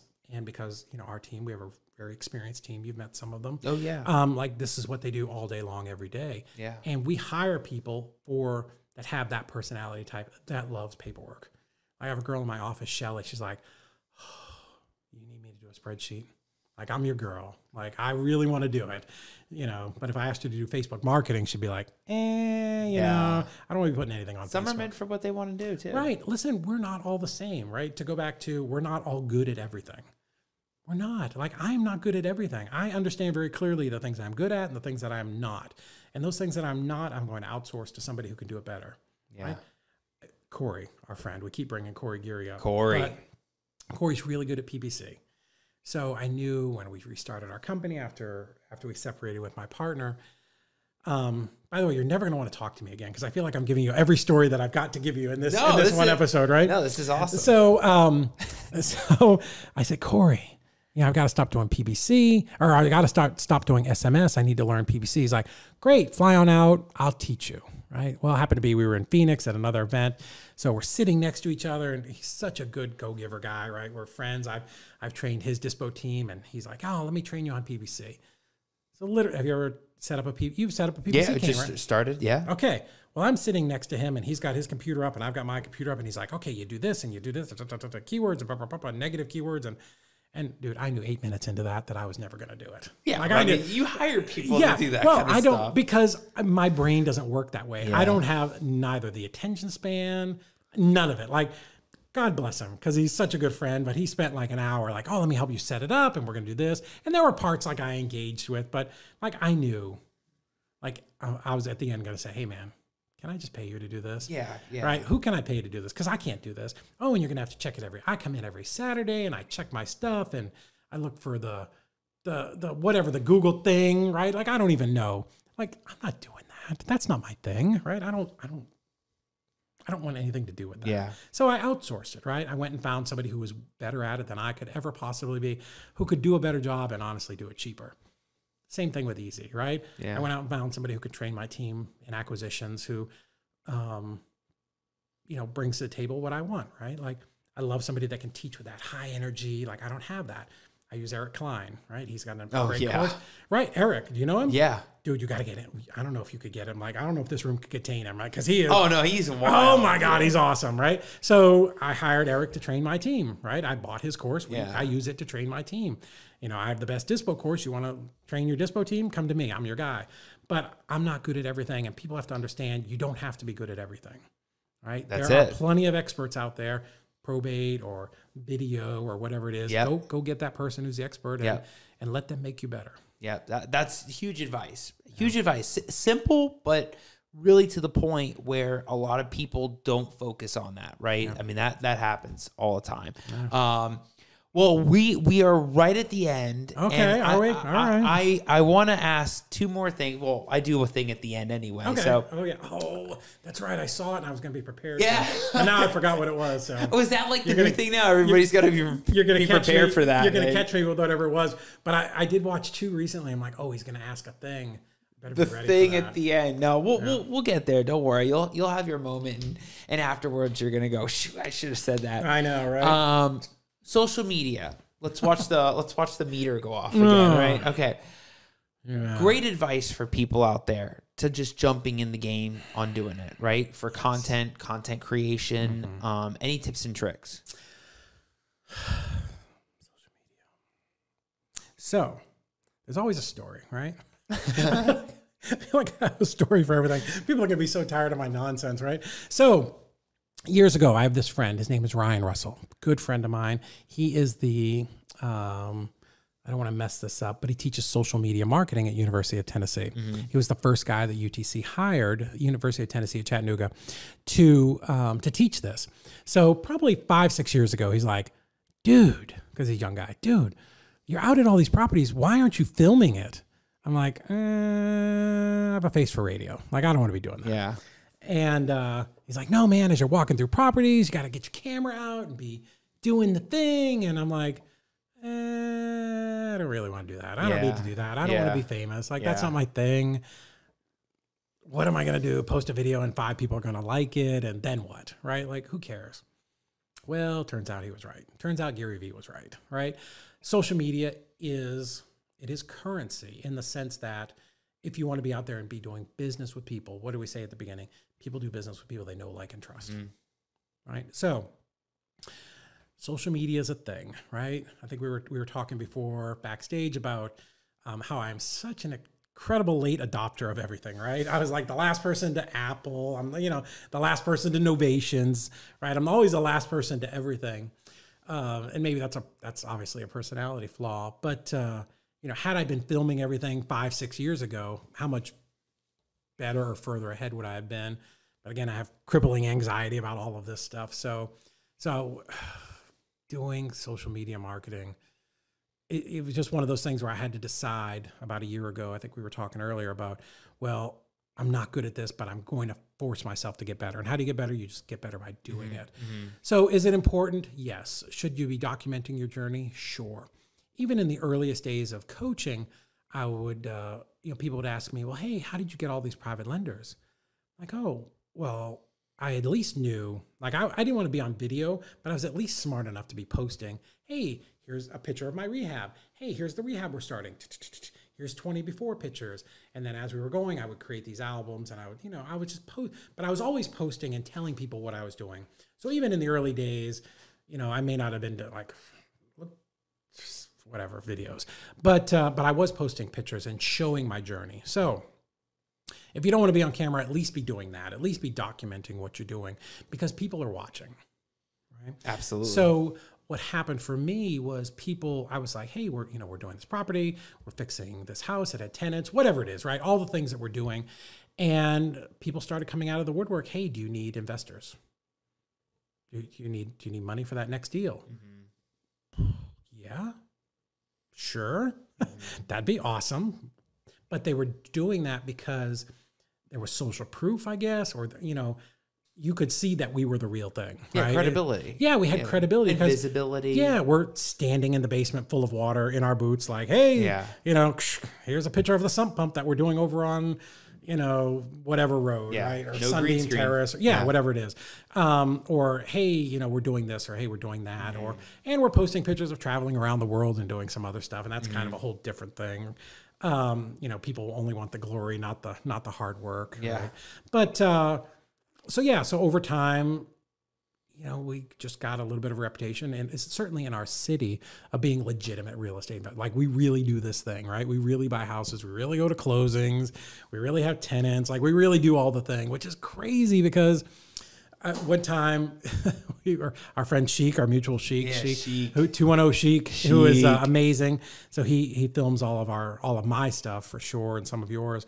But um, we were we were posting in front of these apartment buildings that I own, and you know he's like, oh, just tell people like what you make off of rent in this, you know, uh, in these these properties or whatever. And people legitimately would reply like, oh, anybody can just stand in front of any apartment complex and say it's their own. I'm like, dude, it's 1202 Duncan Avenue. Look it up. It's not that. It's not. You know, you can't. We're legitimately. You can't we do that like a landlord, yeah. right? Like, well, like some people. Yeah, I was like some people be like, I bet he won't post the address. Well, it's not gonna. Like, look it up, man. It's not. You know, it is. We really do this Yeah. business, but. Yeah, so should people document their journey? Yes. If you don't want to be on video, at least post pictures of, hey, here are the things that I'm doing, right? You know, hey, I just bought this mobile home park. Hey, I'm I'm doing this. Hey, my team is doing this. Um, like people love, like they love to watch your journey. Oh, they yeah. really do. Oh yeah. And, you know, the people that love you will watch it, and the people that hate you will be rooting against you, but they're still watching. To go back to private parts, you know, what did the the uh, the thing when when Stern went to NBC? They're like, yeah, the people that love him watch him or listen to him for like forty five minutes a day. Yeah, oh, that's not that great. But the people who hate him listen for three hours. right? Your haters will watch you, you know, watch you even more than your the people that love you. Um, but yeah, post what you're doing, document your journey. Yeah. Don't be afraid to be on camera. Listen, you know, there are plenty of people that that want to give me grief. Like, listen, they also get on there and tell a supermodel their boobs aren't perfect, right? So every they're gonna their trolls on the internet are gonna goof on everybody for everything. Yeah. Just you know, get out there and you know, bring value. You know, when you're posting, is there something about this where I can help somebody else? Because to to to go all the way back to the beginning when we talked about going to CFRI and and I was that kid who was nervous and I was afraid to go in. And mm-hmm. even when I did finally go in, you know, I still kind of sat by myself and I would see the experienced investors over there like talking and yucking it up and talking about their deals. Like I was afraid to go over and mm-hmm. talk to them. Mm-hmm. Like it was a legitimate fear, you know, I'm not good enough. It's Catholic guilt, man, all of it, right? But, you know, I was afraid to go talk to those people. So I remember, like, I distinctly remember that time in my life where I was not the expert, right? Yeah. I was brand new. Didn't, I didn't, I was afraid to go ask a question because I thought it would be stupid and whatever, right? Yeah. All of those things, uh, Yeah. insecurities that we have. So, you know, when I'm at an event, I love talking to people. I don't go searching people out. I'm not like going, I'm not you. I can't do what you do. Eh, What you do is really great. I wish I had that, right? I don't have that. That's not an attribute that I've got. But I do love talking to new people. And so that's sort of the way that I think about social media is like, what would be something that I wish somebody would have told me or that I could have seen or I could have watched or, you know, is it helpful, right? Like I'm not doing any dances. There's no skits. I'm not putting on any wigs. Right? We're just gonna talk about real estate. Mm-hmm. Like I don't know about everything. I don't. Frankly, I don't know a lot about most other stuff in life. Right. Um, but I do know about real estate, so that's the stuff that we talk about. Yeah, love it. I mean, again, love that you're posting reels all the time and, and dropping tons of nuggets and lo- loads of information. Um, I love how the comment feed does get uh, uh, crazy Gets- and wild. It gets sometimes it does. but you know what? It's actually keeping things engaged. Yeah. Right. Like, oh yeah, people that want to like comment or be stupid, like I'll engage with them, and because every comment just kicks it up to the top. Right. Finally, after like seven or eight times, I'll be like, "Hey, Al, man, I really appreciate your comments. You're really helping my Instagram algorithm." Right. Like, finally, you have to say like.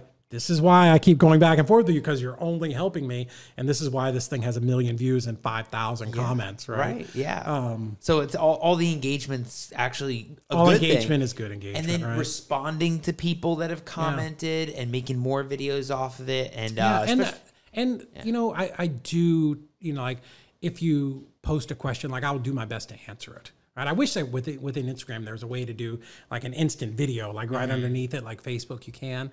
But um, because again, I remember like when we started, there was none of this, right? There was like like like Preston Ely, who like we have to go way back for anybody who even remembers who he is. Kenny Rushing, Tim Mai was around back then, um, Jeff Watson, like there was like they would be like a weekly Wednesday webinar, which at the end you knew they were selling you something, but it was still great information. That was the only place to get this kind of information. There was nobody on YouTube except Ty Taylor, Ty the Flipman Taylor, who you know had a great video series. Like I watched all his videos twice in the early days because that was the only education there was. There wasn't a million podcasts where everybody you know could start their own podcast or just a Zoom, right? Like off your off your mm-hmm. laptop. You know, there wasn't Facebook or Instagram. Like none of this existed. So mm-hmm. where you could find information was you know, it was harder to find it. That's why it was the kind of the golden age of RIAs, because that's why you'd have two, three, four hundred people show up, because this was the only place to get that information. Now, the good news is information is every place. The bad news, information's every place, right? Right. Like everything is the kind of the scales of justice, right? There's a lot of information out there. It's not all good, right. right? Some of it's old, some of it's outdated. Somebody's from somebody who didn't know what they were talking about. So there's that. Yeah, no, social media has been huge, and uh, I love seeing your success when it comes to that, David. I think it's keep it going. I mean, you know the team's got you when it comes to coming up with content. I'm sure Heather and Hannah got you. Oh yeah, got you thinking I've got, about I've stuff. got Hannah on a thing right now of, of you know making content. So, Yep. so I've got them on doing their own content for because now we need easy content, right? Yeah. Now we're promoting that and. Yeah, it's it becomes social media. It becomes a thing, right? It Yeah. becomes its own like Yeah. life. It takes on a, a life of its own. Oh yeah, it's a, it's its own. Um, you don't even have to have a TV uh, station. You don't even have to have a TV show. Mm. No. You literally have social media now, Or and you that's can your start channel. Start a YouTube channel. yeah, that's your you channel. want to talk about English bulldogs and like because I love English bulldogs. We could do a podcast on English bulldogs. I have two of them, two fat, stinky English bulldogs, and I love them and they they run my house. But yeah, whatever you're passionate about, like talk about it, right? So like no matter what you're doing, Mm-hmm. right? The thing that you love, and again, so again to, to kind of to, to wrap it up and go back to where we started lots of ways to do real estate right? Real estate's like being a doctor. You be the eye doctor the nose doctor the tongue doctor the ear doctor the butt doctor the knee doctor the toe doctor whatever right? Same thing lots of ways to do real estate. So you know again you could be condo conversions land development wholesale pretty houses lease options with john jackson or you know whatever type of real estate you want to do find something that you love mm-hmm. right? You know don't try to do something that you don't love because it won't last right? Yeah. you've got to legitimately love. If you want to be a wholesaler, you probably love talking to people at the end of the day. So again, with social media, it's the same. Like whatever thing you're passionate, if you're passionate about parakeets, man, Tell it. do parakeets, right? parakeets. Because you're going to resonate with resonate with people. Because if you're not like people can tell, like people can tell when when you you really love something, right? There are only so many you know videos you could do of you getting out of a Lambo and doing the, the crisscrossy dance across the street, which I love. I watch them all, but like how many of those can you do? Right? You have to talk about something that that inspires you. Yeah. And you know your goal should be to inspire and help other people. Yeah. Right. Motivate and inf- influence and inspire, educate. Right. Those are important things. Yeah, don't be afraid of like, oh my God, I can't tell this one thing that, you know, like is really great in my business. I don't know. What do you want to know, man? We'll tell you. Yeah. Right. You want to know what lists we're calling? We're calling vacant. We're calling absentees. Yeah. You know, high motivation lists. Yeah. It's not complicated. There's nothing. You know, there's no hocus pocus to this business. It's relative. It's a relatively simple business. It's people that kind of complicate it. Yeah, love it. David, awesome stuff. I mean, jam packed episode, if you couldn't tell, with lots of info, lots of content. Yeah. And I mean, this is what we wanted to do, right? Yeah. Sit down, hear the story, hear the background, something I Normally, we're doing this and it's like 10 o'clock at night at you know at some house party where we were at, Right. Passing the mic back Right, and forth, yeah. right? Where we weren't even drinking. Like I watched those reels and I'm like, was I drinking? No, I was not drinking. I said some crazy stuff. But Nope, nope. Anyway. I mean, we were we were out that night. It was crazy. I We mean, did. uh, I was. Uh, so, do you ever have you ever met Nick Perry? Have you met him? yeah, uh, yes, Okay. yes. So, again, another story, right? So, um, Nick and Corey and I and Corey's sister Crystal, we were at Chris Rude's mobile home event in Lafayette, um, Louisiana. So, a couple days before the event, uh, Corey called me. He's like, "Hey, we want to drive up to uh, New Orleans. We've never been there. Um, do you want to go?" yeah, let me. Uh, I could change my flights around. I really need to be back by Monday night though. So, so I was gonna fly back Sunday. I'm like, mm, okay, let, let me change my flights. I booked a real early flight, like you know, 6 a.m. on Monday. So I'm like, okay, man, like we'll go to New Orleans. I'll show you around because I've been there. The three of them hadn't.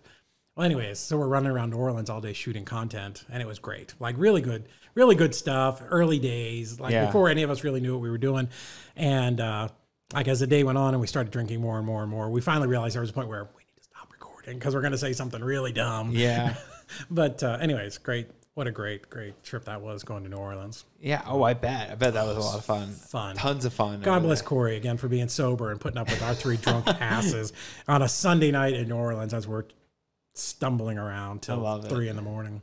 Love it, David. So much info, so much stuff. I'm so happy. Hopefully, there was one or two good things in there. No, one of like 10 12 20 things in there um, i'm so happy we were able to do it in person Yes. not virtual Not everybody gets to come in and i know you actually get and now we have on the shelf we have the easy rei closings uh, what do we call it Tumbler? Mug? Tumbler? tumbler yeah, Yeah. yeah so this is now officially on the shelf so and we brought you something else, but it's oh maybe we can. So here's a this is yes. Let me see this so I can present it to you. So I get to travel around a lot, and so two things that I do love, even though we we thought we were only going to go to Chattanooga for a couple of years and then we are going to move. Um, I love Chattanooga and I do love whiskey. So lo and behold, I don't know which which camera you want to be on. I don't even There's know. There is Chattanooga whiskey. chattanooga So that's a bottle that I bought a while back. They don't even make it anymore, but I love to give uh, gifts of, of Chattanooga whiskey um, to people as I travel around, as a you know, as appreciation for having me on and you know, inviting me over to the studio to do this. So so cool yeah i mean i've never seen this before like Yeah. like this either bottle or no, it's it's pretty. Again, another story. You, you guys were talking about going to to Gatlinburg earlier. Tennessee, believe it or not, even though it's Jack Daniels, is is uh, um, distilled there. Other than that one county, which is also a dry county, by the way. So Mm. that where Jack Daniels is made, you can't consume alcohol. That's interesting. It's Did very weird. Know that one. But um, there there was a law. Again, I'm going to do this the best I can here. There was a law in Tennessee where it was well as it was illegal to distill alcohol within the state, other than that one Mm-hmm. carved out thing. So these guys who started Chattanooga whiskey, they actually got together with the moonshine guys up at Gatlinburg and some other uh, people who wanted to start distilling whiskey, and they got the laws changed. They lobbied the state legislature, and of course, Jack Daniels probably was lobbying against them because they didn't want anybody else.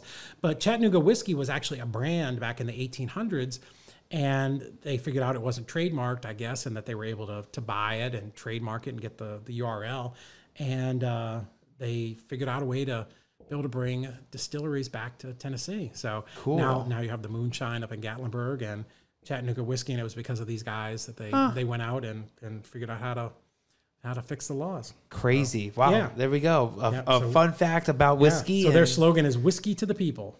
nice, nice. no, thank you for this. I mean, that's that's really really cool. I mean, Yeah. we we love the stuff on the shelf. So Yeah, I know. I was uh, watching you last week on something. I'm like, I better bring some good stuff, and you know, Oh, make sure, yeah. Make sure that I can contribute to the shelf. Oh right? yeah, the shelf's growing. Yeah. Um, yeah. Hopefully, it's not going to need a third shelf at some point. yeah. You might. You might have to come up with something a little different to to add all the stuff in here. Um, Yeah, we have to may have to get longer shelves. Actually, I don't know. I don't know what's going to happen, but no, it's an awesome addition to the shelf. And of course, all my guests. I also have a Yes, gift the- for you as well. Yes. Oh. And this is the Al Nicoletti T-shirt Okay. presentation for any person that comes in in person to my show. Nice. Yep, we got the shirt. Look at that right there, everybody. Look at this. Awesome. Al Nicoletti Esquire. There you which, by the way, apparently just means attorney, right? There you go. Yeah. How many I'm- years of law school? And that was the best answer that you have for me. We'll be Googling that later. So Um, cool. Yeah. So there Very you go. kind of you. I'm going to take a couple of these back for the girls in the office. Oh no, yeah, absolutely. We have we have shirts for Heather and Hannah. and, so and my wife Heather, she said Heather, she wanted one as perfect. well. Perfect. We got that. Yep. We'll bring that back. And um, David, fun stuff. I'm I'm just so glad that What we is were- what was our final question? You didn't ask me. Oh no! Oh Yeah, yeah, yeah. that. You're waiting. Yeah, no, it. I'm ready. I, I forget what it is. I feel like I should have been grasping the prepared. table. He's like ready Yeah. to go. Like, All right, let me drink. What a- is this? a- Okay, I'm drinking so- my whiskey here, vodka. Yeah. Hopefully water. Um, water. So as I do with all my guests, that we, when we conclude the Al Nicoletti show, we always want to hear those final words of wisdom Yeah. and any thoughts that really can resonate to the audience out there. Um, and really, it's final words, final thoughts on anything David Olds, Easy REI closing, Mm. scaling growth, partnerships, um, anything that you really wanted to hammer home Yeah. that could be that could play a huge part in someone's business or their role. So, as I say, final words, final thoughts. Let it rip, David Okay. Olds. Well, interestingly enough, I don't, you know, I don't know that anybody who has wisdom ever thinks they have wisdom, but um, this is what I'll tell you, and this is for for anybody who's just starting out or, you know, you're beginning your real estate journey. This is a difficult thing. It is not as easy as a lot of people want to portray it, right? We've talked a lot about the stumbling blocks and things that happen and the hurdles that you have to overcome. And there are a lot of days where you're going to get up in the batter's box and you're just going to get a pitch to the head, right? It's just going to happen. Hopefully you've got your helmet on, but they're just you're just going to get beat up a lot, right? Not because real estate's this terrible thing, but the just any uh, anything that you're starting new, you don't know everything, right? Like if I was to get underneath the car and try to change the oil, there's going to be the one thing I forget to do, right? Well, that happens in this business. So, so it's a challenge. It's a challenge to start anything and grow it. And here's what I tell people: like find a tribe of your people, right? Find people that you can go on this journey with, right? So go join your local real estate group, right? Or meet up, or if there isn't one, start one. Everybody can go to meetup, I think it's dot .com and start a group in their mm-hmm. in their area. You know, you can go to Panera and sit around have coffee, and that's maybe where it starts. But have people that that you can you can talk to and that you can share the wins and you know talk to on the bad days because they're going to be bad days right it's not all going to be easy if it was all easy everybody would do this so you know find people whether they're in your city or you know you find people on the other side of the country right? Now we have facebook and snapadoodle and instachat and all the things right? Um, so there are people that you can find that are on a similar journey if you're nervous about being you know talking to people in your town but um, you know collaboration is a great thing. You know there you can find somebody that you know again you share those wins with i don't want to keep repeating myself but here's the thing there are going to be days where you're up and somebody else is down and, and you can help that person you know get through that bad day and then there's going to be when you've got a bad day and and somebody else can help you through and and i'm really lucky that that I've got a great group of friends from all over the country. Sometimes I feel like I see you guys more than I see my own family who lives in my town because we're always traveling. But um, you know, we talk about partnerships to sort of put a bow on it. Like when when I had to decide to to get out of my last partnership, like that was a big decision, and I was able to call you know the Ricardos, the Nicks, the Coreys, you, Charles, Michael. Like I had those people that you know I was friends with that I could call and say, hey, here's what I'm thinking. What do you think? Mm-hmm. Or hey, here's a problem that I'm having today. What do you think? Mm-hmm. And you know they were there to help me get through a really tough time. Mm-hmm. Conversely, I've talked to almost all of those same people who've had a tough day who've called me and I'm like, hey, listen, I get it, man. It's that sucks. Here's how we can get through this, right? So find you know that would be my advice to people is find a tribe of people that that you like that you resonate with that where you know you can count on them on days you're having you're having a bad day and that you can help them out when they're having a bad day and you can sort of be on this journey together and grow Yeah. No, love it. I think that's valuable info, right? Find those right people to surround yourself with in your industry. And uh, I'm honored and privileged to call you a friend. Yes, man, for uh, sure. Mentor, everything that you can. that, yeah, well, no, I mean, you learn from from what people are going through, and you learn from people that are scaling their businesses, Mm-hmm. and so there's things that you can really pick up, and then it's just it's a tribe, right? We're all part of a great community, Mm-hmm. and and like I said, I'm thankful that you were able to come. Thankful Oh, that we've been to be able to like really connect this year. I mean, of of the year to do it, being Mm-hmm. at all the events, uh, doing what we've been doing, speaking where we have, and what Mm-hmm. what we've been doing, and uh, it's great. I, I can't wait to see Easy REI closings keep growing. I can't wait to see Heather just keep pumping it out over there and just Oh. and just you know really keep training everybody Mm-hmm. and then hannah's growing and then the whole team's going and you need to come up and, and meet the rest of our team oh i absolutely. I'll tell you, i'll now be is there actually like the, this is the best time of year to be in Chattanooga. The weather's just perfect. It's not too hot. You know, little change of seasons, all that type of stuff. So yeah, you need to definitely come up. i'll do a whole weekend you know be great. It'd be so nice right Yeah, we'll do some stuff. We'll shoot some content. And then I can show you our city. It's really it's a it's a beautiful city. yeah and now uh, what i learned is uh, pepsi's also there Well, Pepsi has a distribution center, but Coke is the big one. Like, Okay, Coke 'cause- is Coke's. That's our people. yeah right? because all of a sudden you just dropped uh, pepsi during the episode Well, so I like, did. There's another a, one Like every city has a distribution center for, Yeah. for both, right? Um, but yeah, like my son, he's a manager at uh, Little Debbie's, which is actually the McKee Corporation, the McKee family. But you know, he you know supervises people that make the honey buns and do all the things. He runs a bunch of different. I don't even know what all he does. It's a lot of stuff. But uh, yeah, man. I mean, a lot of cool stuff in Chattanooga. It's a great. It's a great city. can't wait to come visit you can't wait to see the whole team and everybody Yeah. there so david thank you again man Thank once you, again no thank you you. love it love seeing you Thanks for having me. I'm i glad really we were appreciate getting- all of you guys putting up with my nonsense for a little bit. No, no, and you know what? We got to We're gonna do this uh, especially for Dave Day. So this officially broke the record for longest episode. Oh. Has it been that long? Yeah, it, it, it's um. Let's see. Where are we at? Uh, probably three hours. no, no. Yeah, probably probably about three hours. So Is it really? yeah, yeah, three hours, two Oh minutes. my, we crushed him, right? Yeah, two. So to Dave Day, we absolutely crushed this whole thing. Oh. I didn't think it'd been three hours. I felt like two hours, maybe. Yeah, no, it's been three. Yeah. Crazy, right? Yeah, that's people have told me that. Like Heather, she's like, oh, "You're getting on a podcast. You'll be on there forever." My wife and my wife is named Heather, and my vice president of operations is also named Heather. It doesn't make for anything confusing in life, right? I've never told the wrong one of them "I love you," except once, and it was very embarrassing.